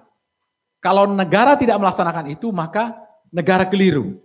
Apa yang disebutkan di dalam perjanjian itu. Karena itu adalah perjanjian suci. Kesepakatan bersama. Kesepakatan luhur. Eh negara, ini sampean lakukan ini. Kan begitu. Ya, ya harus kita harus semangat, harus mengisi pos-pos itu di mana pun. Nah caranya dibina sekarang dengan teman-temannya ini Anda bikin networking. Anda bikin komunitas, komunitas untuk saling me mencerahkan, saling mengisi hal-hal yang positif, membuat kebaikan, menebar kebaikan. Anfa'uhum apa? Linas, ya. Apa? Khairun nas anfa'uhum linnas. Yang sebaik-baik manusia yang bermanfaat bagi yang lainnya. Jadi Anda bikin jaringan. Jadi bukan hanya di sini, nanti Anda terus menjadi sebuah kekuatan, ya, menjadi sebuah solidaritas, menjadi uh, apa namanya ya, ya, ya alumni, tapi juga menjadi kekuatan umat begitu. Dan itu harus dibina dari sekarang, saling mengisi. Nanti Anda empat tahun, lima tahun lagi Anda akan berbeda dengan yang ada sekarang. Percaya sama saya. Kalau Anda main-main sekarang nanti Anda akan merasakan sendiri. Ya, jadi kalau Anda sungguh-sungguh sekarang, 6-7 tahun lagi Anda akan berubah. Total sudah. Dan itu butuh kedisiplinan. Butuh, mohon maaf, kejam pada diri sendiri. Ya. Kalau Anda hanya ikut-ikutan temannya hura-hura ke sana kemari, aduh, Anda akan menyesal nanti. Tapi kalau Anda prihatin, Anda melakukan asketisme, asketis Anda dengan masa depan Anda, insya Allah Anda akan bermanfaat. Anda ingatkan temannya, Anda ingatkan ini, Anda minta masukan, saran dari guru-guru, dosen-dosen Anda, minta masukan Anda. Ya, bagaimana baiknya masa depan saya begini, saya ingin menempuh pendidikan ini, menempuh jalur karir ini dan seterusnya. Diskusikan dengan teman-teman. Ya. Dan kalau Anda mendapat masukan, Anda harus open. If you are open for criticism, you are on the right track for improvement. If you are open for criticism. Jadi kalau Anda terbuka dengan masukan, dengan kritik, Anda sudah di track yang betul. Anda akan maju. Ya. Tapi kalau Anda tersinggung, sedikit-sedikit ngambek, repot. Ya. Ah, di sinilah sebagai training ground bagi Anda. Sebagai intellectual exercise bagi Anda. Anda bergaul dengan teman-teman, ada LKBH, organisasi, apa pun lah. Bergaul ya. Jadi jangan hanya pulang ke OS sudah begitu, diskusi di masjid. Saya lihat di sini di UII juga di Kaliurang itu saya bilang hebat ini kan generasi besok. Masa depan itu di tangan Anda. Ya, sepakat ya? Setuju ya? Oke. Ini saya doakan Anda, ini ini mereka lama penulisnya ini merantau di Jerman. Saya doakan Anda suatu saat di luar negeri Anda. Nah, ya, tepuk tangan. Oke. Prof. Masih ada lagi? Baik, silakan kalau masih ada lagi. Ini mumpung ya, mumpung beliau eh, punya waktu saat ini yang agak luang, karena untuk mendapatkan kesempatan beliau itu sangat sulit ya. Jadi monggo silakan dimanfaatkan ya. Ya dari belakang tuh, eh, silakan maju mas ke sini mas. Ah ya nih, nah setelah ini mahasiswi ya.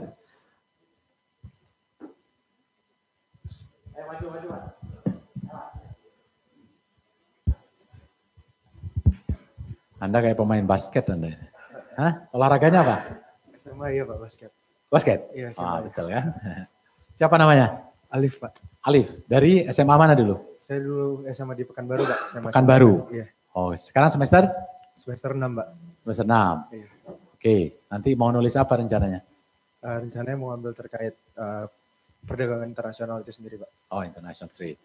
Ya, perdagangan internasional. Kemudian itu ada yang penting. Sebelum lupa, saya nanti ada pertanyaan. Jadi perdagangan internasional, kontrak-kontrak itu banyak kita negara itu menyewa eh, anu asing, begitu. Menyewa asing sehingga untuk mempertahankan kita kan sering kalah di arti, di international arbitration kan. Kita sering kalah karena kita nggak bisa defense dan juga tidak bisa ini karena yang yang mengkonsep semuanya itu bukan kita, orang lain, ya kan? Apalagi mohon maaf kemudian melibatkan oknum-oknum tertentu karena jumlahnya triliunan ini luar biasa kalau kontrak-kontrak internasional kan nilainya luar biasa. Nah itu bisa mengandung unsur korupsi juga. Itu yang saya bilang juga ex- ex- extended scope of work dari korupsi. Jadi Anda mau nulis tentang itu ya? Ah bagus. Nah, kebetulan beliau anak ini juga eh, di IP. Oh di IP. Oh saya sam- sampaikan juga ya, eh, putra beliau juga eh, kuliah di tempat kita dan di IP ya. Oke tepuk tangan untuk kita semua. Terus Ya, nanti nulis ini ya. Ya, eh, terkait eh, pekerjaan dan juga terkait Profesi. revolusi industri itu sendiri. Nah, saya ingin menanyakan terkait mungkin pendapat Bapak juga. Ya profesi Anda apa nanti Oh, rencananya? profesi, oh saya Ah, rencananya ke depan. pengennya jadi lawyer, Pak. Oh ya oke. Nah, saya juga membaca terkait riwayat eh, pekerjaan Bapak sedikit. Bapak dulu sempat menjadi lawyernya dari Indonesian Center for Environmental Law Ya, ya. sendiri.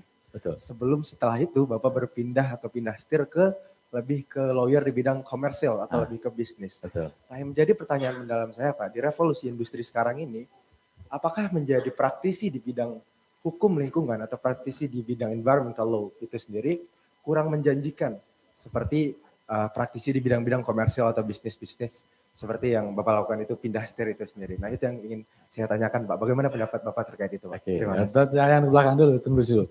Jadi pertanyaannya bagus ya. Saya memang dulu eh, salah satu yang merintis Indonesian Center for Environmental Law ya waktu itu. Jadi eh, saya juga dulu agak lumayan sering menulis tentang itu. Apalagi saya kemudian dapat beasiswa dari anu, Rockefeller Foundation tentang Law and Sustainable Development ya. Leadership for Environment and Development Program. Itu programnya dua tahun ya, sehingga saya pernah uh, apa studi banding di mana-mana begitu. Uh, pertanyaannya bagus, tapi sulit jawabnya. Saya pernah ketemu dengan uh, Harjono Citrosubono di Pengadilan Tinggi Jakarta, almarhum ya. Saya nanya ke beliau, uh, apa yang saya mau, kamu nah, apa yang didalami sekarang? Saya bilang environmental law. Kata dia, wah nggak ada duitnya itu, kata dia. Zaman itu ya, dia nggak ada uangnya katanya. Sama dengan saya, kasus-kasus politik, kata dia. Kasus-kasus haki, mohon maaf ini ya, bukan saya ini. Nggak ada uangnya itu, Anda ke komersial, kata dia. Saya terus terang saja, saya kan asistennya Adnan Buyung Nasution. Tukang bawa tasnya dia dulu sejak tahun 92. Ya, jadi Bang Buyung itu punya dua asisten, salah satunya saya yang menulis bidang hukum untuk oh, makalah untuk di Kompas, untuk di Forum Keadilan, editor tuh alhamdulillah saya. Yang lainnya salah satunya Rocky Gerung di bidang politik. Nah, jadi saya yang bawa-bawa ini dia begitu. Jadi kemudian kan saya sudah ceritakan kepada kalian, saya dulu sejak semester 2 masuk semester 3 saya sudah tidak biaya orang tua lagi. Jadi saya kuliah di IAIN dan di UGM saya biaya sendiri. Semuanya. Kursus semua saya biaya sendiri. Ya. Itu kan saya harus struggle. Nah, kemudian ketika masuk Jakarta seperti itu lagi, begitu kan. Dengan Bang Buyung kan bukan terus enak begitu. Dia baru pulang dari Utrecht University dan dia apa izin advokatnya dicabut oleh pemerintah waktu itu. Jadi susah saya menemani beliau dalam kondisi yang susah. Jadi wajar saya sementara saya sudah berkeluarga waktu itu, saya juga apa uh, I had to survive, ya kan? Nah sehingga saya juga pertimbangkan masuk di dunia law firm itu, sehingga saya masuk ke law firm namanya Warrens dulu di Bursa Efek Jakarta namanya dulu. Satu-satunya law firm sebelum ada HHP di gedung itu law firm saya namanya Warrens namanya. Jadi gaji pertama itu ya dolar saya uh, zaman itu. Jadi dari NGO kemudian saya di dunia law firm begitu. Saya kemudian berpikir ya, waduh Gimana? Walaupun tetap saya menulis tentang lingkungan, sering wawancara segala macam ya, lingkungan begitu. Sehingga ada lawyer juga dari sini ada di kantor saya, di kantor uh, law firm saya sekarang dari IP uh, eh, UI juga ada fakultas hukum beberapa orang. Itu saya arahkan juga karena dia ingin di apa di environment juga nggak apa-apa. Memang ya kalau untuk misalnya menjadi uh, pengajar, tapi kalau di dunia law firm itu agak jarang case seperti itu. Saya pernah menangani dan itu pun saya mengundurkan diri. Newmont namanya. Itu saya lawyernya dulu. Jadi lawyer, Anda boleh cari Lutfi Aziz gitu di Google, ada pasti di Newmont, di New York Times, di saya wawancara di Xinhua, di Australian Sydney Morning Herald, di mana saya wawancara itu tentang itu. Tidak banyak sih anunya, tapi saya saya ada lawyernya Newmont dulu. Tapi saya mengundurkan diri. Ya, kalau bayarannya besar, tapi hidup kan bukan hanya itu. Saya konflik batin dengan kasus pencemaran di Buyat. Jadi banyak kalau lingkungan itu konflik batin konflik kita karena kaitan dengan masyarakat yang tercemari. Saya menangani kasus pencemaran di Sungai Ciujung juga di Jawa Barat, di mana empat pabrik ini uh, mencemari lingkungan, kemudian uh, binatang ternak masyarakat mati, masyarakat kena penyakit dan lain-lain begitu. Sementara negara belum maksimal untuk itu, negara kita. Sementara saya juga kan harus hidup gitu. Masa saya uh, hanya hidup dari funding ya? Kalau itu kan kalau itu NGO kan dari funding kan? banyak dari dari macam-macam Ford Foundation, Asia Foundation dan macam-macam. Ah, takdir membawa saya di dunia law firm itu. Dunia law firm, kemudian uh, saya di situ 5-6 tahun, kemudian suatu saat saya dipanggil, bukan dipanggil, ditelepon oleh orang yang bernama Yusril Izam Hendra. Dia telepon saya, bos, kata dia. Panggilnya bos nih, saya nggak nggak meralat-ralat. Kita bikin warung, kata. Saya bilang, boleh bang, saya bilang gitu uh, kita janjian ketemu di Canberra waktu itu. Nah, tapi saya bilang, saya tapi saya dapat beasiswa dari uh, British Chevening sebelum itu. Enggak apa-apa, ente jalankan law firm, nanti kalau udah jadi, gua anu katanya, uh, apa Anda sekolah jalan. Ya. Dia dulu ini perjalanan orang ya, saya nggak nggak mengarang-ngarang ini walaupun direkam saya bisa pertanggungjawabkan. Makanya saya kalau di dalam sidang MK kemarin nggak saya bilang Pak Yusril, saya bilang saudara Yusril keberatan gitu kan. Karena saya tahu banget tentang dia gitu ya. Jadi eh, ketika bikin law firm ya, kemudian karena dia di dunia akademisi hanya di situ kan memang pinter kan. di dunia akademik, tapi tidak punya license kan, tidak punya ini. Tapi rupanya kan kemudian enak di dunia law firm sehingga terus sampai sekarang jadi lawyer kan. Nah, jadi ada orang yang begitu memang. Nah, tapi poin dari saya ketika kantor ini besar, ini juga pelajaran bagi Anda dalam pertemanan. Ya, ketika kantor besar ah, sudah orang itu kalau bikin warung dan kemudian kuenya enak, kuenya wah cenderung manusia kita ini ah, sendiri. Ya, jadi maka saya kemudian berprinsip lebih baik berteman daripada berbisnis, bermitra tapi kemudian tengkar. Akhirnya kita berpisah. Saya masih punya di sana masih kalau saya persoalkan secara hukum masih ini gitu loh. Lawyer saya waktu itu Soleh Amin. Pak Soleh Amin, Pak Adnan, kemudian banyak Bambang Wijoyanto, Iskandar Sonhaja, lawyer saya menghadapi Yusril. Jadi jadi udah biasa saya ini gitu ya. Jadi penting bagi kalian adalah lebih baik berteman daripada bertengkar di kemudian hari. Jadi banyak orang Indonesia itu bikin kantor, bikin akhirnya tengkaran, banyak begitu. Kalau saya soal prinsip begitu ya, hal yang sangat prinsip ah, dan apa namanya Eh, karena kemudian setelah diberhentikan oleh Gus Dur, diangkat lagi oleh Megawati menjadi Menteri Kehakiman dan lain-lain, saya merasa tidak cocok ya. Karena Menteri Kehakiman kan kemudian bisa ngapa-ngapain, kan di bawah Menteri Kehakiman dong hakim-hakim itu. Nah, saya tidak cocok dengan hal-hal yang semacam itu. Ya, kita berbeda prinsip begitu dan ya sudah kita jalan sendiri-sendiri. Ya, tapi itu sejarah, bagian dari sejarah. Anda cari di Google pun Lutfi Azid Yusil pasti ada ketemu. Anda berapa detik Anda udah ketemu, ya. Jadi begitu. Jadi kantor Yusril, Yusril menjadi lawyer itu nggak bisa lepas dari saya juga sejarahnya. Ya, tapi ya itulah jalan kita masing-masing sendiri-sendiri. Ya. Jadi kembali kepada pertanyaan Anda, Anda eh, lingkungan ya kalau Anda mau menjadi akademisi nggak apa-apa, di dalamnya itu. Ya, tapi kalau Anda mau menjadi lawyer, eh, ya kecuali Anda menjadi public interest lawyer. Jadi lawyer yang tidak dibayar sama sekali. Ada, mau nggak dibayar? Enggak. Kenapa? Masih butuh uang buat hidup. Oh, iya. kan saya bilang hidup sekali kok cari uang. Gimana uang bisa cari kamu, ya. Jadi nah itu dia. Ya, jadi Anda pertimbangkan mana profesi yang ini karena tidak sesu, tidak selamanya cocok dengan ini kita. Bidang yang akan kita ini, apa yang kita cita-citakan di kampus tiba-tiba berbeda, begitu. Saya pernah ditanya oleh Profesor Sacito Raharjo di Jakarta, Anda apa kerjaannya?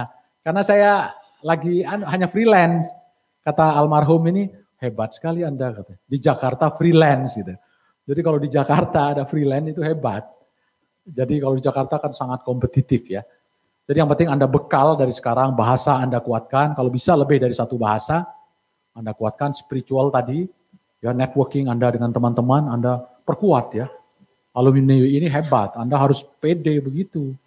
Ya, kalau kaitan dengan kampus tadi, kalau nggak salah, sistem perkuliahan memang Anda yang nanya ya, sistem perkuliahan tadi ya. Nah itu memang akan berubah. Memang nanti bukan, memang bukan bidang saya, tetapi yang saya tahu sekarang kalau misalnya mau kuliah uh, milih profesor dari Oxford University, tinggal kita kontak sudah, kita minta kuliahnya dia, bisa itu. Jadi artinya ruangan pun tidak terlalu terpengaruh. Jadi ruangan kecil pun dia bisa minta profesor asal membayar fee itu. Dan dia bisa kuliah misalnya Eh, katakanlah uh, jilid satu tidak bisa ikut kuliah jilid empat sebelum lolos jilid dua atau lolos jilid tiga begitu. Itu ada sistem yang begitu. Coba Anda tanya kepada yang lebih ini, tapi yang saya pernah tahu seperti itu, bahwa kuliah jarak jauh itu sudah sangat umum dan tinggal Anda pilih profesor di bidang apa, begitu, dan dari universitas mana.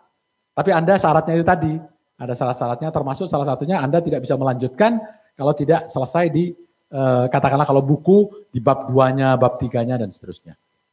Itu. Ya Mas ya? Siapa? Oke, makasih ya Mas ya. Oke. Terima kasih banyak. Thank you. Ya. Ada lagi? Jadi ini mungkin saya menggarisbawahi tadi tentang public interest lawyers ya. Nah, eh, jangan dikira bahwa eh, public interest lawyer itu bukan satu profesi yang eh, tadi betul-betul tidak ada uangnya gitu ya uh, saya beberapa tahun dari tahun 2007 itu uh, beraktif di LSM namanya GAGE, bukan GAGE ya. Global Alliance for Justice Education. Nah, saya memperkenalkan sistem pendidikan uh, di UI ini. Jadi di Indonesia itu uh, sebelum dari USAID itu, itu uh, kita dua perguruan tinggi di Indonesia menjadi pilot project ya percontohan. Pertama UII yang sudah mengembangkan clinical legal education-nya sudah sudah berpengalaman sudah lama. Kemudian di Bandung Unpas, Universitas Pasundan yang baru memulai gitu ya.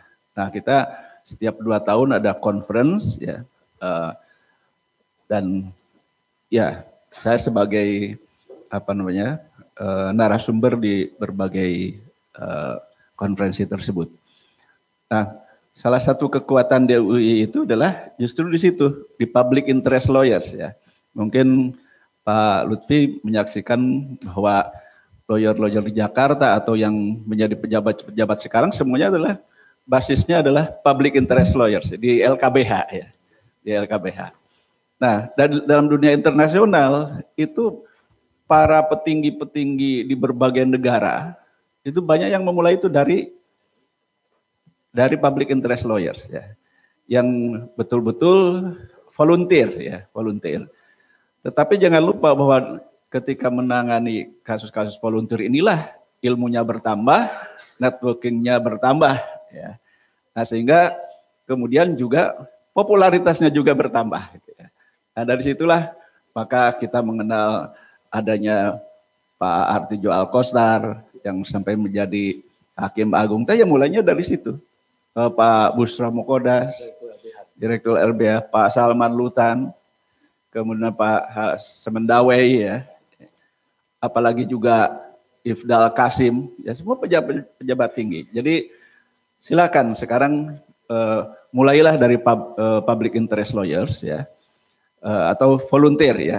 Dan kebetulan juga Pak Lutfi sekarang di Fakultas Hukum UI itu memang profil Fakultas Hukum itu salah satunya itu adalah pegiat masyarakat. Jadi yang disampaikan tadi profesi-profesi tadi, nah ada salah satunya adalah LSM. Nah ke LSM ini dulu kita resmikan bahwa salah satu produk UI itu harus menjadi uh, atau salah satunya adalah menjadi uh, pegiat masyarakat atau LSM ya. Nah jadi ini secara internasional ya juga ini adalah merupakan uh, profesi yang sangat menjanjikan gitu ya. Uh, itu mungkin Pak Lutfi ya. Mungkin mohon lebih dieksplor lagi bahwa uh, saya kira Pak Lutfi sendiri juga bisa sampai sekarang ini kan dimulai juga dari dari situ. Silakan. Ya, terima kasih. Terima kasih. Jadi memang betul sekali apa yang beliau sampaikan. Jadi uh, Pak Artijo Alkostar itu mantan direktur LBH. Ya, LBH Yogyakarta. Uh, Pak Busro Mukodas juga aktivis di bantuan hukum. Dan yang di Jakarta pun begitu itu. Bapak yang menjadi duta besar lah, yang menjadi anggota parlemen begitu. Nah saya pun karena dibawa Bang Buyung, Bang Buyung waktu itu sebagai ketua Dewan uh, Penyantun Yayasan LBH Indonesia. Jadi penting sekali untuk mempunyai pengalaman-pengalaman di LKB HUI ini kan. Kemudian banyak yang beliau sudah sebutkan tadi, watak yang penulis-penulis yang populer, ada dulu Aswab Mahasin. Itu alumni sini, Aswab Mahasin, almarhum sudah. Itu yang memberi jalur-jalur beasiswa dia ke orang-orang di Jakarta. Ya, dia uh, lebih senior lagi dari Pak Mahfud MD. Ya, kayaknya dia termasuk yang agak awal sekali. Bukan agak awal ya, saya tidak bisa menemukan yang lebih awal dari Aswab Mahasin, alumni UI. Karena dia menjadi panutan di generasi-generasi berikutnya, termasuk kan di LP3S kan dengan AI Priyono, tapi jauh sekali itu generasinya. Ya. Aswab Mahasin almarhum ini awal. Mungkin lebih senior dari Pak Busro juga saya kira. Nah, dulu di PHIN beliau. PHIN itu MAN satu sekarang. Jadi sangat penting untuk terlibat di uh, public interest lawyer begitu. Nah, hanya bidangnya tadi, Anda jangan nanggung. Kalau Anda di environmental law tadi, Anda jangan tanggung-tanggung. Anda benar-benar terlibat di situ begitu. Ya. Apakah di Walhi atau di WWF. Nah, ya, tapi harus benar-benar total gitu. Dan bukan hanya di Indonesia, teman-teman di luar negeri, di Jepang itu ada GFBA namanya, Japan Federation of Bar Association, bahasa Jepangnya Nichi Bendren, Anda bisa cek di Google. Nah itu tokoh-tokohnya pun dari public interest lawyer dulu. Ya, kemudian dia switch dia, dia pindah menjadi commercial law firm atau menjadi pejabat di sana. Bahkan menjadi menteri, menteri kehakiman dan lain-lain. Itu kan terkait dengan track record ya. Tapi usahakan total ya ketika masuk di sebuah lembaga begitu tentu banyak yang harus dipertimbangkan apa faktor keluarga, faktor suami, faktor istri kalau Anda sudah berkeluarga nanti itu harus dipertimbangkan. Tetapi mesti total ya, total. Itu kalau soal eh, apa eh, legal aid ya foundation dan juga banyak sekarang di Indonesia legal aid foundation. Saya sendiri juga sempat menjadi sekretaris LBH PBNU Nahdlatul Ulama zamannya Pak Hasim Muzadi ya. Tapi juga saya ikut merintis berdirinya Muhammadiyah di tempat saya jadi Muhammadiyah iya, NU ya. Jadi saya ingin ingin inilah apa karena kadang-kadang Islam itu sering dipertentangkan. Ini kan kondisi-kondisi begini ini kan nggak bagus ya. Nah, jadi kita perlu berada menengahi ya kalau menurut saya. Saya kira itu dari saya. Baik, masih ada? Ya tentang yang terakhir, UI itu didirikan oleh selain tokoh-tokoh pendiri bangsa, juga tokoh-tokoh Islam. Ya. Semua lengkap. Uh, ada Ki Bagus, itu Muhammadiyah ya. Uh, Akar Zakir juga Muhammadiyah kalau lihat backgroundnya. Kemudian Kiai Wahid Hashim ya itu NU tuh lain ya. Ini semua ada. Nah oleh karena itu ada yang coba lihat di, di UI ini mungkin bisa juga diangkat ke level nasional lah gitu ya. Sebagai percontohan bahwa uh, kita itu tidak harus antar uh, apa ya antar misalnya NU dan Muhammadiyah harus gontok-gontokan. Di UI itu terjadi. Terjadi bahwa uh, Pak Mahfud itu orang Muhammadiyah apa orang NU gitu ya. Tidak akan terlihat di, di, di UI itu.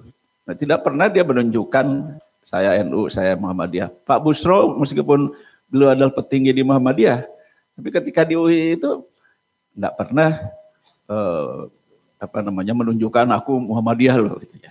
Nah ini sudah dicontohkan oleh para pendiri UI, kemudian para penerusnya sampai para rektor-rektor berikutnya juga, para dosen berikutnya juga tidak ada. Memang ada satu apa namanya satu episode sejarah UI di mana ada salah satu golongan yang ingin apa ingin menonjol begitu. Tetapi eh, seketika juga bisa kita kendalikan dan alhamdulillah sudah kembali lagi bahwa UI itu adalah Indonesia gitu ya.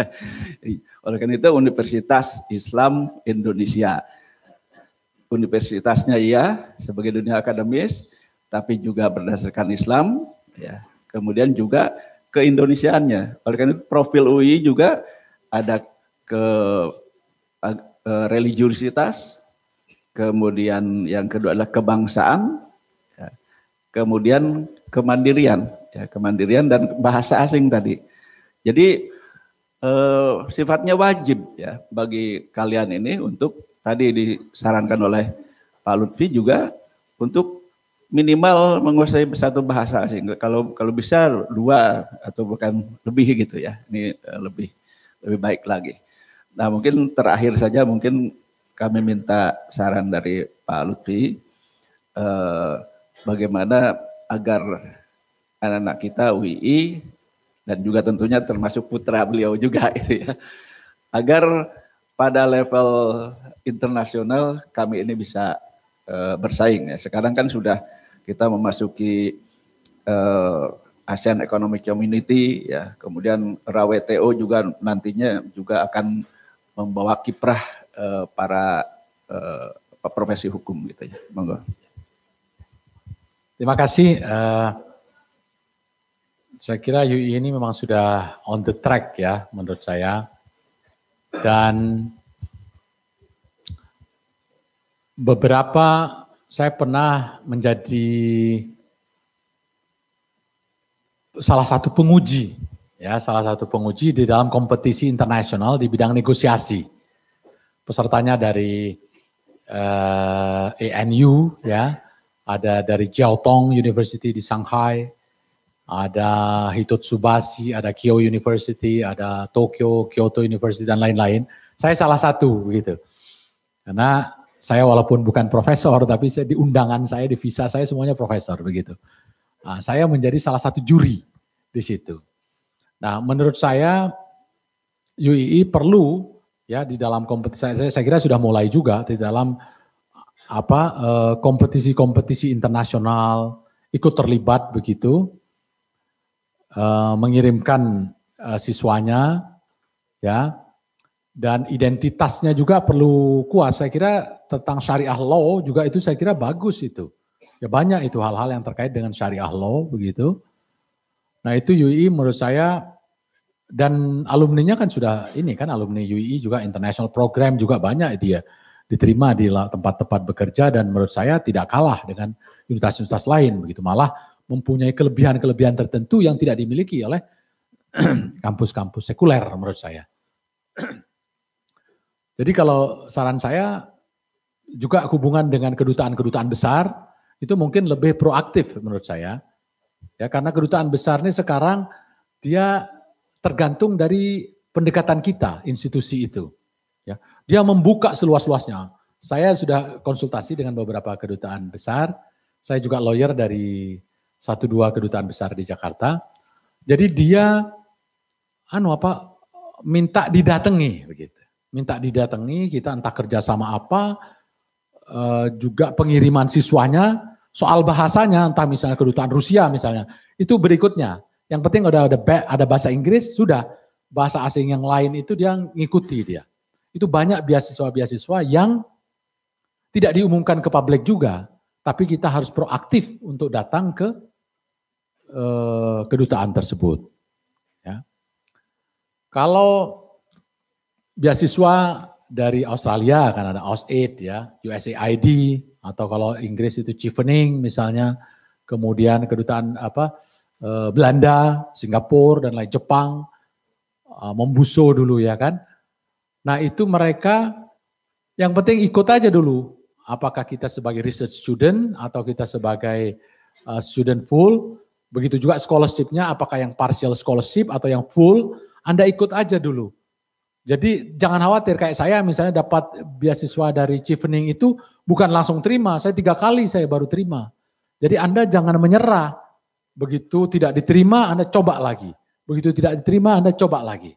Begitu. Kalau Anda ditanya kenapa harus pilih Anda, ya Anda bilang aja, misalnya ya kasih dulu kesempatan saya. Saya akan tunjukkan bahwa saya akan menjadi uh, pemimpin, salah satu pemimpin bangsa ini dan saya akan tunjukkan saya akan berhasil begitu. Itu sangat banyak beasiswa-beasiswa sekarang. Jadi teman-teman harus sudah siap itu. Jadi jangan sampai seperti sekarang nggak punya paspor. Harus sudah punya paspor itu semuanya. Siap berangkat sudah gitu. Kan sudah ada ada backpacker-backpacker itu kan. Anda harus bonek begitu. Anda jalan dulu. Urusan belakangan begitu. Apply beasiswa, apply untuk training, untuk workshop dan lain-lain.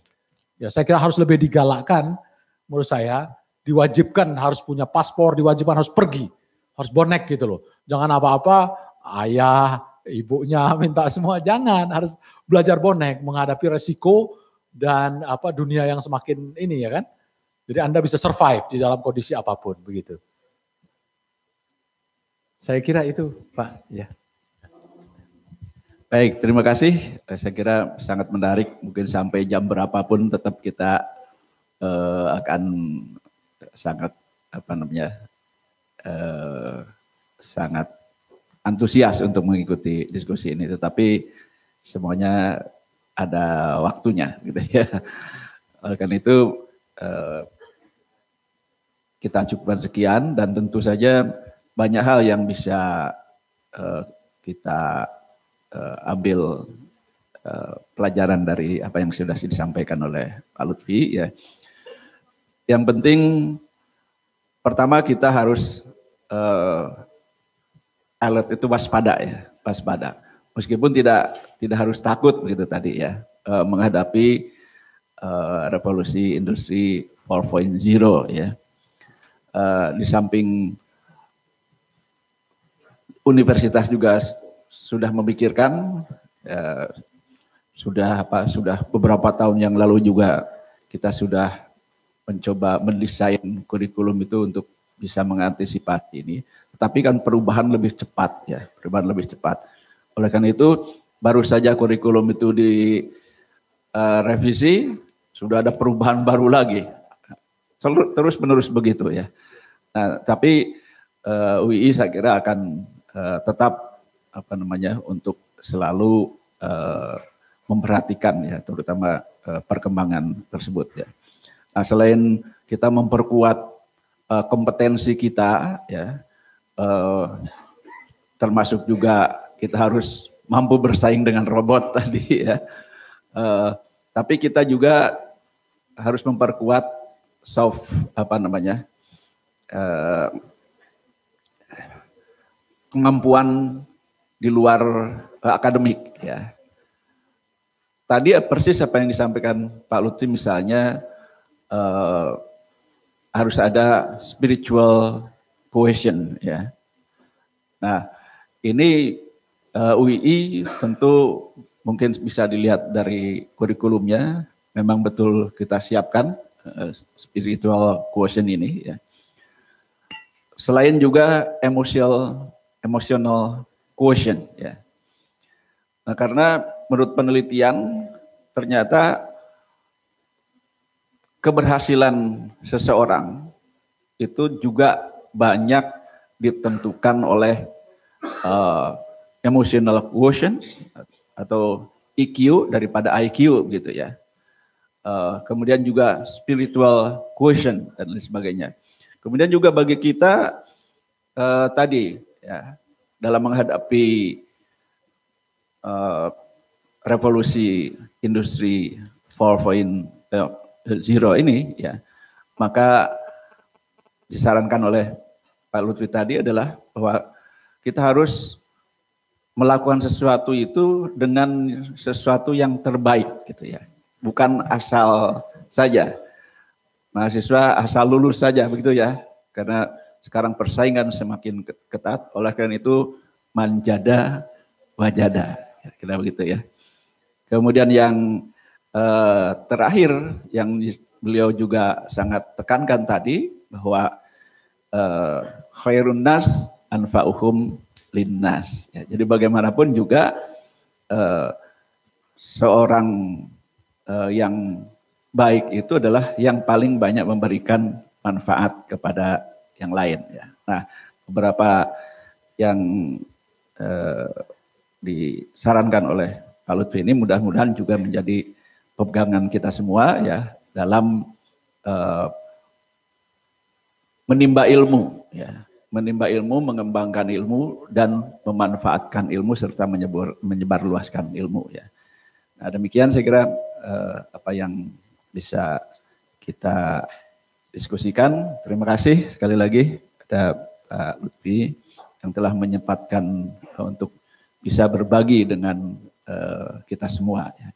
Terima kasih juga pada seluruh mahasiswa yang secara antusias mengikuti uh, diskusi ini dan mudah-mudahan ini menjadi bekal bagi Anda semua. Demikian akhirnya kami kembalikan kepada pembawa acara dan dari saya mohon maaf atas segala kekurangan dan kehilafan dalam membawakan acara ini. Assalamualaikum warahmatullahi wabarakatuh.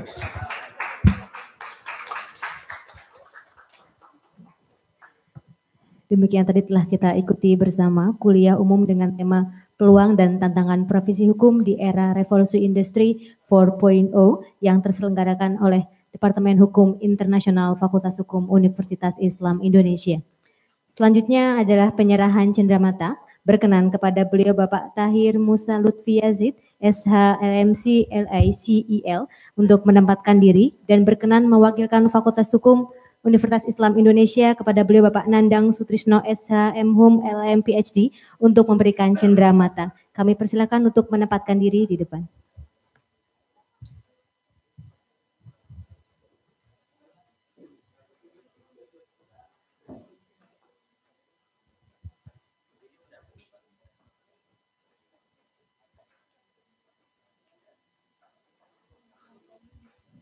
Kita saksikan bersama penyerahan cenderamata dari Fakultas Hukum Universitas Islam Indonesia kepada narasumber kita pagi hari ini Bapak Lutfi Yazid SHLM.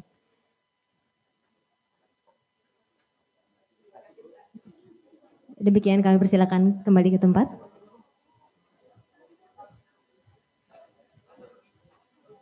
Bapak Ibu hadirin serta rekan-rekan mahasiswa yang kami hormati, demikianlah susunan acara kuliah umum pada pagi hingga siang hari ini. Saya dari pembawa acara kurang lebihnya mohon maaf. Terima kasih atas kehadirannya. Bila taufik wal hidayah. Wassalamualaikum warahmatullahi wabarakatuh.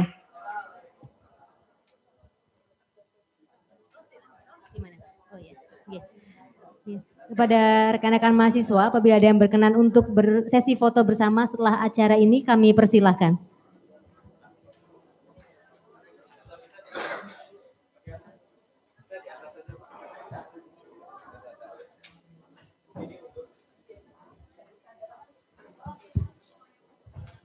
Ya silakan teman-teman mahasiswa yang eh, maju ke depan untuk sesi ber, foto bersama. Ya maju.